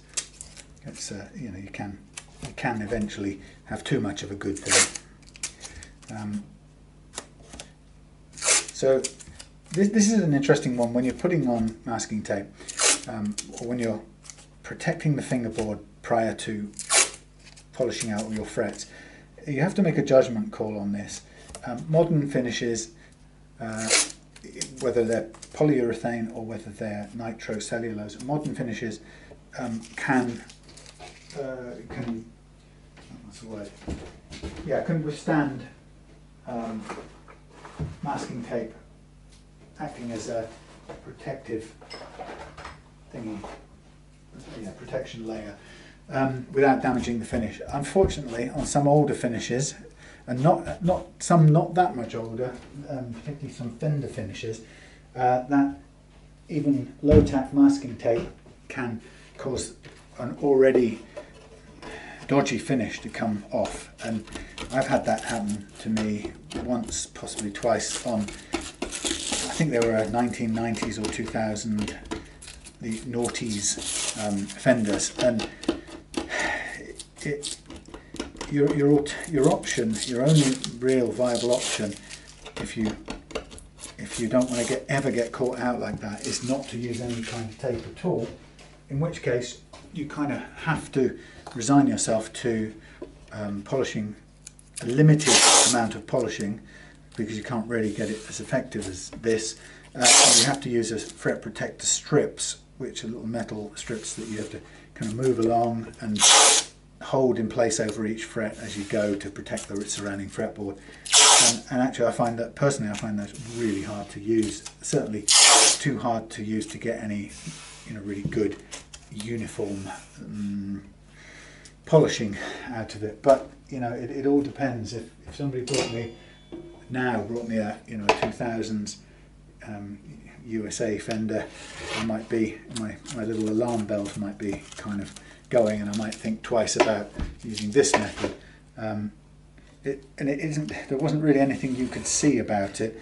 It just comes down to how well or badly the the thin finish that um, Fender put on the guitar, well or badly it uh, adhered to it. And you can't really know until you put the tape on, you protect it, you do all your polishing out and your sanding, and then you come to remove the tape as carefully as you can, as low tack tape as you can possibly find. And lo and behold, the uh, ultra thin poly, usually I think it was, uh, just flakes off in great rafts of loose, thin, flaky finish and it's like I say, there's nothing you can really do about it at that point, other than refinish the neck, um, which is something I've done once or possibly twice. Um, you know, because it's not the customer's fault. I, you know, I didn't charge the customer for doing it. It's just one of those things. But practically speaking, I don't think it's feasible to use the fret, fret protector on every polish out that you do um, because it just you just don't get as consistent and as thorough a polish um, and uh, you know you'd be there forever trying to use the protector strip but it's very very hard to actually hold it in place and use it uh, as you're doing things. So I don't know it's a difficult one. I think I think all you can do is use your if you have build up the experience and I don't necessarily think I have that much experience yet, but if you, the best you can do is build up the experience to be able to sniff out the dodgy looking finish when it comes along and avoid it. And in that case, if you sort of suspect it, um, go go and do the tell the customer, look, I think yours is of the era where the finish is very very fragile. So I'm afraid I'm not going to do the same kind of polish that I would normally do because I don't want to risk the, uh, the finish flaking off. Um, and that's about all you can do, and, and it depends really on you having a sort of sense of what you're looking at. Um, sometimes you can tell if it's one of those guitars from that era and it's already starting to flake. That's a very strong giveaway, and, and so you'd be, you know, you'd be well. Um, it'd be just as well if you could recognise that and and avoid making it worse.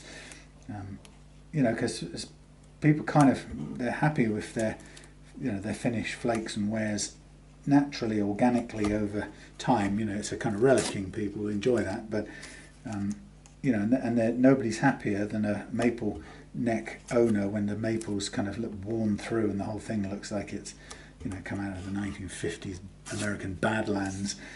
But somehow they don't seem to like it if it wasn't there when you when they sent it to you and lo and behold, it suddenly turned into a you know vintage 1950s Nocaster or something.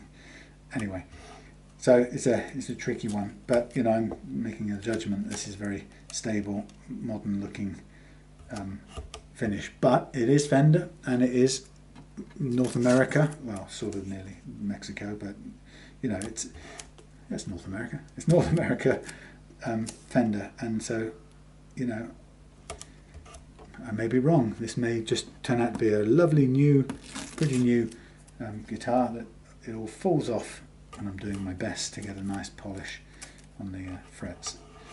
Repay me with that, but you just don't know. So, um, uh, ardent, boring fans of real life guitars might notice that I'm kind of um, I'm economising on paper. Not that it costs anything really to use this paper, but I just got I got tired of cutting extra strips, and I suddenly realised that I was kind of throwing quite a lot of this paper away without it doing anything worthwhile. So I tried to get sort of use each piece three times, sort of. Um, not reuse it, but you know what I mean, like this. Tear a bit off, and in fact, I could cut them shorter, but it just, just force of habit. I keep on doing it this way, um, and I end up with a bit left over instead, which I peel off and throw away, like you saw just now. So it don't work out either way. But there you go. So this this goes on for 20 minutes of fiddling and faffing around, and uh, I'll put some tape over here to protect things, and then we'll off camera I'll do the sanding and I will return when it's time to put on new strings or put some oil on the board and put new strings on. Um, and so, you know, on, on, the one hand, you've seen a guitar that had a pretty good set of frets on it. I was, you know, impressed. Um, and, you know, it's a kind of guitar that you could play this out of the box and most people would absolutely not have any complaints about this. It's, it's a very playable instrument. Um, but my customer comes to me and says, look, I, I, I, want this to be as, you know, as low as you can, or lower than it currently is. You didn't say low as you can get it. It was low as it currently is, uh, lower than it currently is. And, and I don't like the sharp fret edges. So, you know, you put the two things together and you say, okay, that's gonna, that's gonna require some fret work um, and you know in playing it you find just a hint of choke and a hint of buzz and you think well okay I'm going to be I'm going to be sanding the edges anyway I'm going to need to sand the edges so and I've got a little bit of obstruction here and we want the action set a bit lower so let's get a precision level on it anyway and then we'll take care of all the polishing out in all in one go and we will have the best action. Now the beautiful thing about that is of course if you want it higher just like with the adjustable nut um, you can raise things at either end and, and you can obviously go higher but you know then you can return it back to the 1.5 millimeters on the low E last fret measurement um, and you can also do the same you know either side and you can go back to 1.2 millimeters on the high E last fret action. Um, there's a sort of tradition in, in guitar techs, I suppose, that most people measure the playing action various. In fact, it varies quite a bit. Some people will do it, you know, 12th fret or 17th fret or whatever. And and I, I've never wanted to argue with anybody for more than 0.0 seconds about which I choose or why, right? And I and I want to live in a world where I it should suffice for me to say to somebody, this is how it works for me to get a guitar play the way I and most of my customers seem to like. So let's not get hung up about um, you know, whether it's a measurement here or a measurement there, because for me the measurements don't mean anything. They're just a means to an end. I don't, I don't care how much relief it is. Like I said before, uh, I care more that you, you and I know what the relief does and how it changes, and, and so that we know how to adjust it to get what we want. Um, I don't care whether I don't care what that measures physically. Um, I only say 0.2 ish as a start point. And if, if I set 0.2 on this guitar and it doesn't feel to me right and I try it a bit lower and that actually makes me feel better about this guitar, then I'll go lower. So I don't have any measurements that I aim for each time. Um, other than as a, as, a, as a means to get to somewhere. And we get to somewhere is, is quite simply just a, a guitar that feels good to play and stays and plays plays and stays in tune. And that's the only goal. You know that's the only outcome I'm after. Right I'm going to go off put radio on um, get me sanding head on and get all of this done. And then I'll come back to you shortly. Back for the final um, thingy final leg of the thing. And here we have it. It is time to add a bit of the old lemon oil. And once that's on there'll be new strings on. And we'll stretch them out intonate and be putting this baby in their case back home um, ready to pack up and send on uh, back to James who is away for the time being and uh, won't need to go until early next week. So there's no rush but I wanted to get it done today. Um, righty so there we go. Stringers, 42s um, string throughs. I've taken the neck plate off the back and I have pulled out or freed up the trapped cellophane that was there. So we're, we're cellophane free. Oh look I'm putting the low E string at the top for a change. I've done so many left-handed guitars recently it, seems odd to be stringing it right-handed. Hey. So um, again James uh, as you've probably seen on my videos you may have seen on my videos just one thing I'm sorry about the camera angle here we're kind of close so I don't know how well it is working maybe I should have a higher one but anyway um,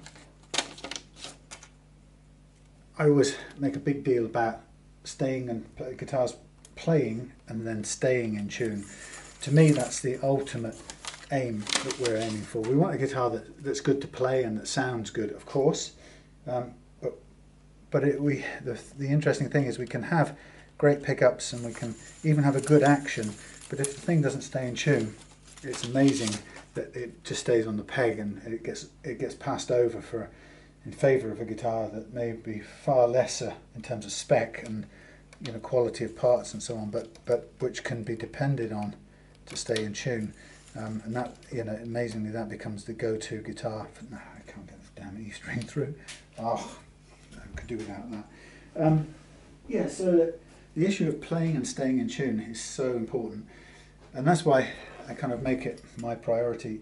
Is always the first on the list is play it's, playing playing in tune and staying in tune that's the that's the main number one thing my attention is on then immediately after that is um, making the action light and easy to play good to play then after that it's uh, making it sound good so that's down to what have we got on board how can we you know what the best kind of pickups we can get for the budget we've got and then after that comes what it looks like, funnily enough, um, and then finally at the last on the on the list of oh, I'm doing it the wrong way around. I want to put the nut in, and I want to put I want to put on the uh, first. Oh, by the way, I forgot the little thing. How about that? Little little aspect I forgot on this. It actually it's actually pretty good. It doesn't seem like it wants to go anywhere, but um, it makes sense to mark where these um, where these little feet sit and and what I'm going to do is I'm going to put a little tiny marker in the in the rosewood on each footprint. Now it's already made that pressed and made a little sort of shine there. And then what I'm going to do is I'm going to get a small uh, drill bit like this. I'm not going to get I'll get a smaller one even. Um, and I'm just going to by hand I'm going to twizzle a drill bit and I'm going to make a little tiny dent in the rosewood just by hand. And you don't have to press hard at all. It's quite capable of you know drilling a little hand drilled hole. So I'm just just literally making a, a very small little small indentation in both places and then I'm going to move to a slightly bigger thing. Will it go all the way around? Yay. So I made a, just a very, very small impression that I can basically seat, seat these, the feet of these, this nut into. Now that means I have to just put it up a tiny bit more, but that now stopping it from moving anywhere. So I discovered that's a simple enough way to do it. So what I'm going to do is, as I mentioned before, I'm going to go with the D first and get that one in and tightened up. So with my stringing, you want to limit as much as possible how much you put around there. You want enough to hold it, not enough, not so little that it undoes.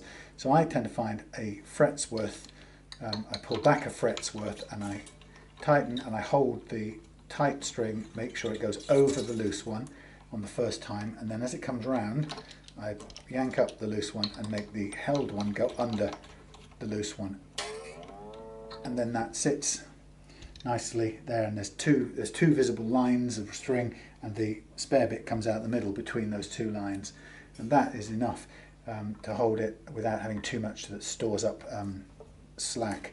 Now this uh, this nut now is tiny fraction too low of course because it's now sitting in two little dents that I made for it um, so once we get the strings on and stretched up to tension then I'm going to want to just tweak the nut. But the beauty of the adjustable nut is you can you can have it set at any way you like from no height, which case it won't play, um, and you just turn it up until it plays the way you like.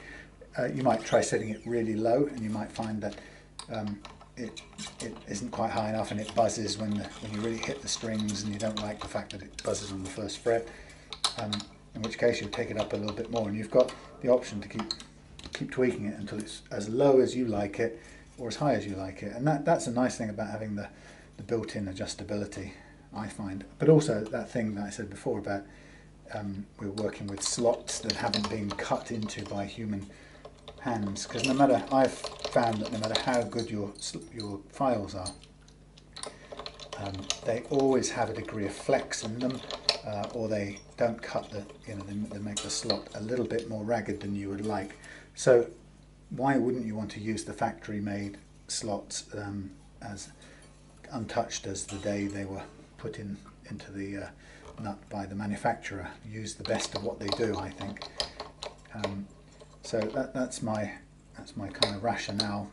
And what isn't negotiable in all of this, if, if you're going to, um, I didn't really go on about it in this video, but one of the reasons when I started doing this that I got so interested in the uh, height of the first fret action was I discovered um, that it was it was what actually got me into tweaking guitars at all. Um, and I discovered that a difference as much as, as little as half a millimeter, or it, let's put it this way, anything over half a millimeter first fret action um, makes the string go sharp when you play it because it's too high.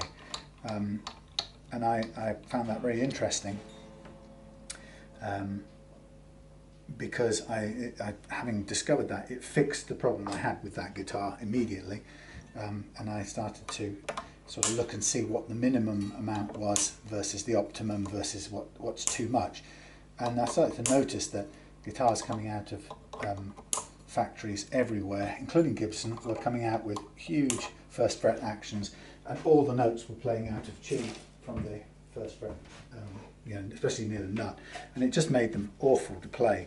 Um, and so I kind of uh, started setting or making it very important to set the strings, set the first fret action very low, and I, I kind of found a good, a good working compromise or a, a median sort of height of 0.3 of a millimeter, which seemed to really work well. Very light and easy to play, with no, um, no nothing going sharp and nothing playing out of tune. Um, and then, of course, I realised that I was having to cut down, always cut to get that kind of ac action, you really couldn't you couldn't sand a nut from the base and hope to get it. I mean, you could occasionally get it exactly right, um, but you'd usually overcut it or not go far enough.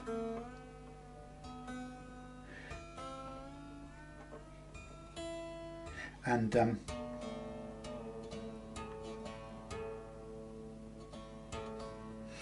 And so uh, you know, you had to always cut downwards. And so I, obviously I spent a lot of time cutting downwards, um, which I didn't mind because it became so important to get that precise first fret action. Um, but it was a lot of time spent cutting down, and of course, it always meant that um, you, you know your the slots were always cut into. You know, you, you could never you could never uh, have a use the sort of nice smooth factory cut slots until I discovered this method. Um, or found this method or figured it out or whatever you want to call it and then suddenly this became God, this is so light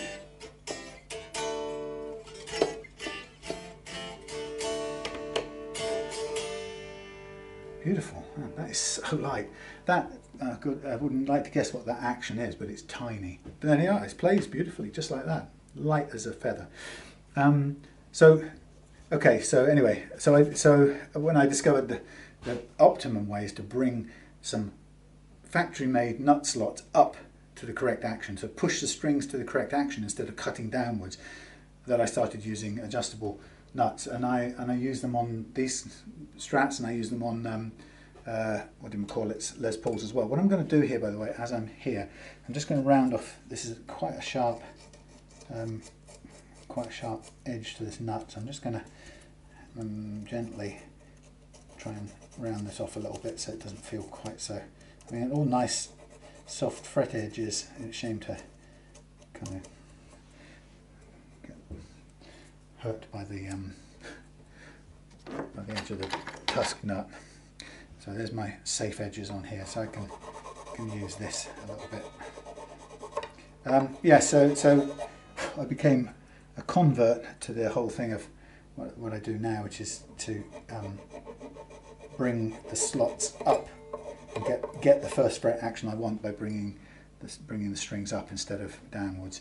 So uh, that's what I do on both uh, Les Paul's Strats, both on Les Paul's Strats and um, well, three aside type guitars and Fender style guitars. Um, and, and I, I can't I haven't looked back from it to be honest. It's what I do all the time. I used to then, you know, I'd say to people, you know, would you like this thing that I do, and uh, and then I'd add it as a sort of, you know, priced extra. And actually, now when somebody asks me how much my setup is, I quote it with an adjustable Tusq nut in there, um, because I just can't see why I wouldn't. It's the best. It's the best playing solution that you can get. Um, and it just it seems to me that's what I'm in the business to try and do is the best possible, not start halfway and then kind of add on extras. I just think you know my ideal setup is just what I've done here Tusq nut at one end, you know, adjustable bridge at the other or saddles at the other end. Ideally a Tusq um, string tree, that's what I would recommend highly.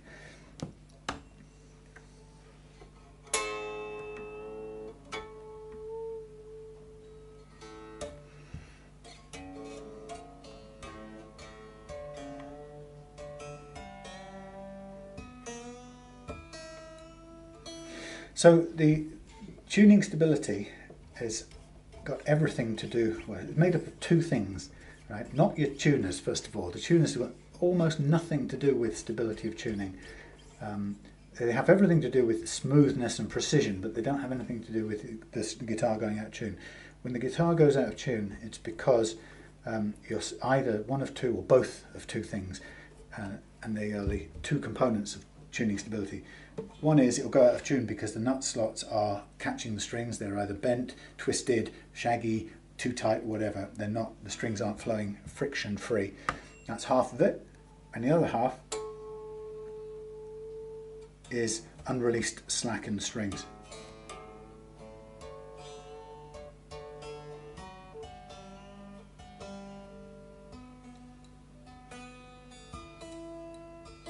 Hear it pinging through that Tusq, uh, that metal string tree, and I, I don't like that. It's a shame. So I, I highly recommend you change it. Um, so anyway, so what I'm doing is I, I've done half of the, one half of it, the nut part I've taken care of by putting a Tusq nut in, which has got PTFE in it, which is naturally the smoothest or the, the least friction material you can get. Um, and we've got we've got untouched fret uh, nut slots so they're as smooth as they can be for all manner of reasons and they are up at the right height so we don't have any of that high first fret action and distortion um, when you press down at that end. So everything about the nut is taken care of. So that's half of your tuning stability taken care of. And what I'm doing now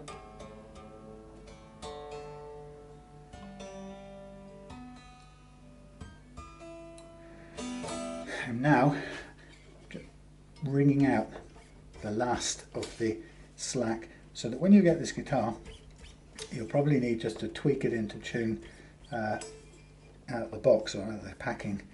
But I'm convinced you'll be able to then play it for hours and it'll be in tune because I've done this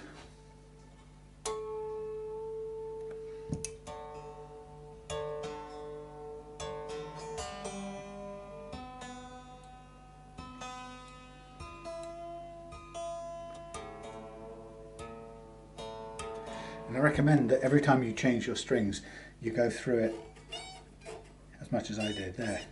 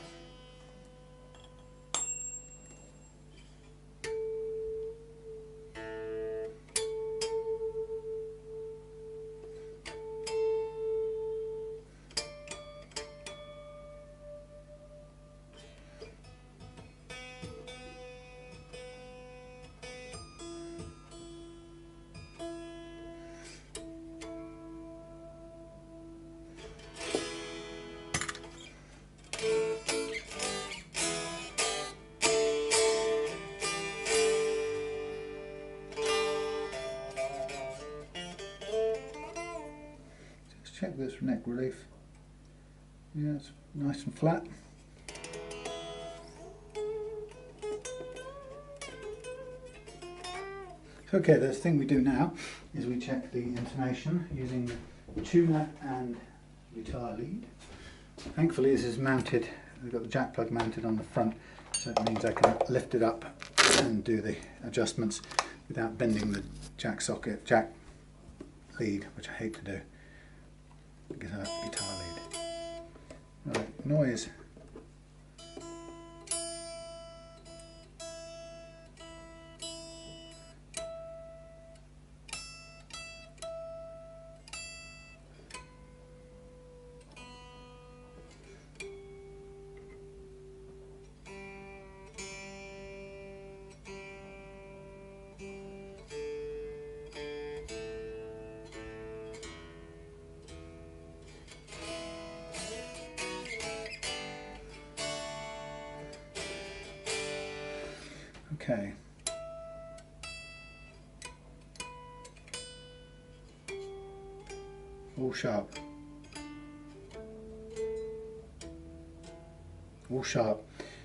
Too close. means they've all got to come backwards, away from the uh, away from the nut end. So that's interesting. Okay, so the intonation, the intonation thing is an approximation anyway because we all it, there's a there's a single variable in this that that's different from everybody who does it. So people will get very precise and uh, you know they'll, they'll, insist that there's only you know that you have to have expensive equipment this and the other to, to test the intonation. Intonation it, it, that would be great if there wasn't for the fact that the one key variable in this is so vastly gross. In other words, it can, it's so variable in its variableness that there's no point having expensive tuning machinery, right? So how hard I press the strings is, is the key gross variable. And so it changes from every person to every person. It changes every night and day I do it. So there's no point getting all hung up about um, multi-million pound tuners when you're going to actually individually you're going to press it at a different um, a different pressure each time. None of us, no two people are ever going to do it the same. Um, so it's only at best an approximation, and we do it by pressing, uh, pinging the harmonic on the, or tuning the harmonic ping to an E, and then fretting the 12th fret with a sort of best guess normal finger pressure. That's going to be different for me than it is to you. If you're a, let's say you're a, you know, you're a farmer and you do manual work all the time, your hand strength is going to be much stronger than mine, and you may well press the frets much harder. And so what I set this intonation to may be out of intonation to you because the one variable in your equation, the, strength with which you fret the note, may be significantly different from mine. So there isn't an absolute, that's what I'm trying to get across, right? And anyone who tells you there is, there is is talking crap. So at my standard, my normal fretting, you can see that the 12th fret of all of these notes is sharp. And that means that the string is too short, its playing length, right? So I'm going to um, pull it back to make it to a, to a length that's going to work. And I'm, what I'm going to try and do, I'm going to use a different screwdriver, I'm going to try and get the, um, the correct length for the top E string first of all, and then I'll position the others based off, off of that. I hate saying that's incorrect, but you know what I mean. So it was quite a bit too sharp, so I'm going to drag the string back, the saddle back, I'm sorry. So I'm lengthening the string, the playing length of the string. Now that will have gone sharp because I've, I've pulled the saddle back against the string. Hear that creaking? That's the that's the string tree. I hate it. Not good.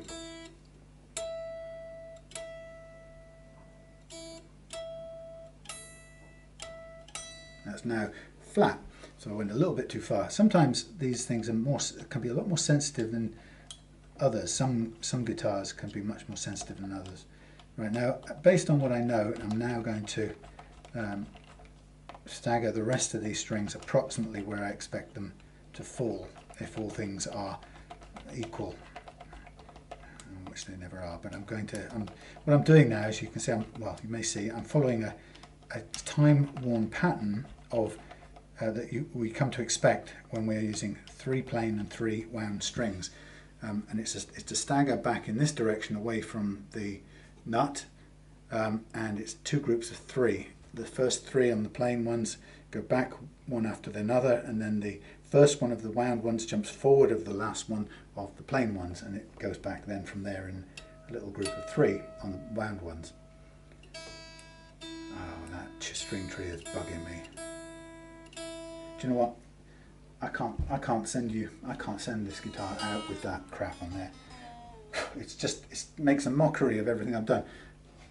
I'm going to steal one of these. This is from somebody else's stuff. Um, I'm, I'll bill. I, am going to take an executive decision and bill you for for these, right? Um, I'm not going to. I'll bill you for one of them. Okay, they, they come in pairs, but you only need one on here.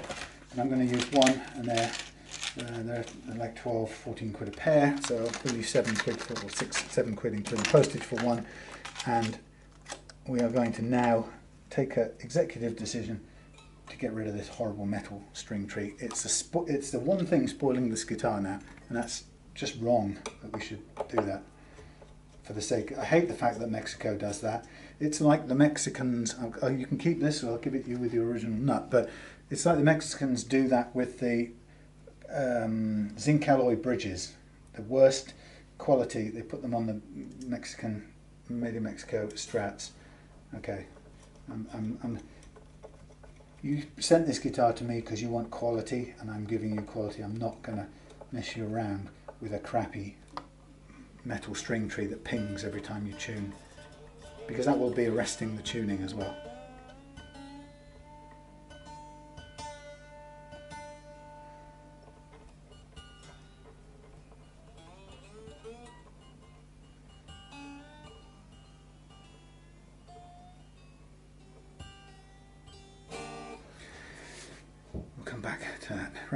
That's better. I feel happy now.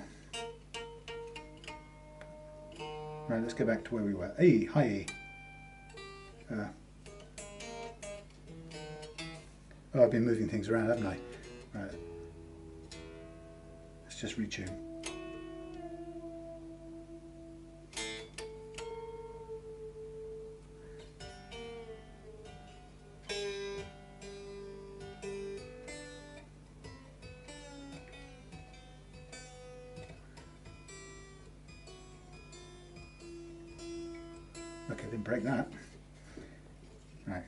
Last tug gently.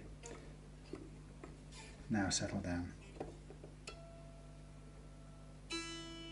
Ah, no pings.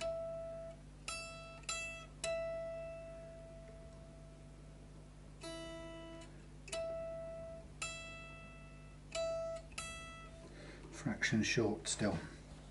A tiny little bit. Okay. Short, pull it back, pull it back.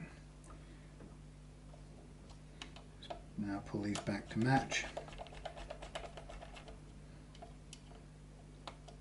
So the intonation is a really important part of the deal and it's let's get these first three right.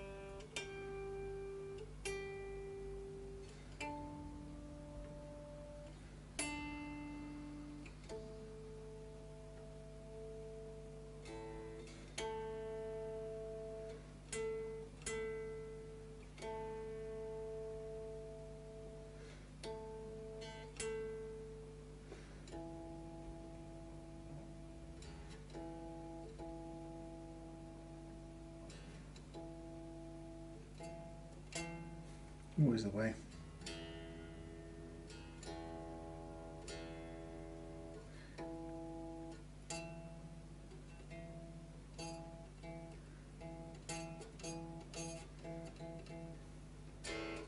Check the action on here. Yeah, we very low. Let's just double check this. Yeah, having flattened out a little bit, we're just on the edge, fractionally too low. Let's tweak this one a little tiny bit.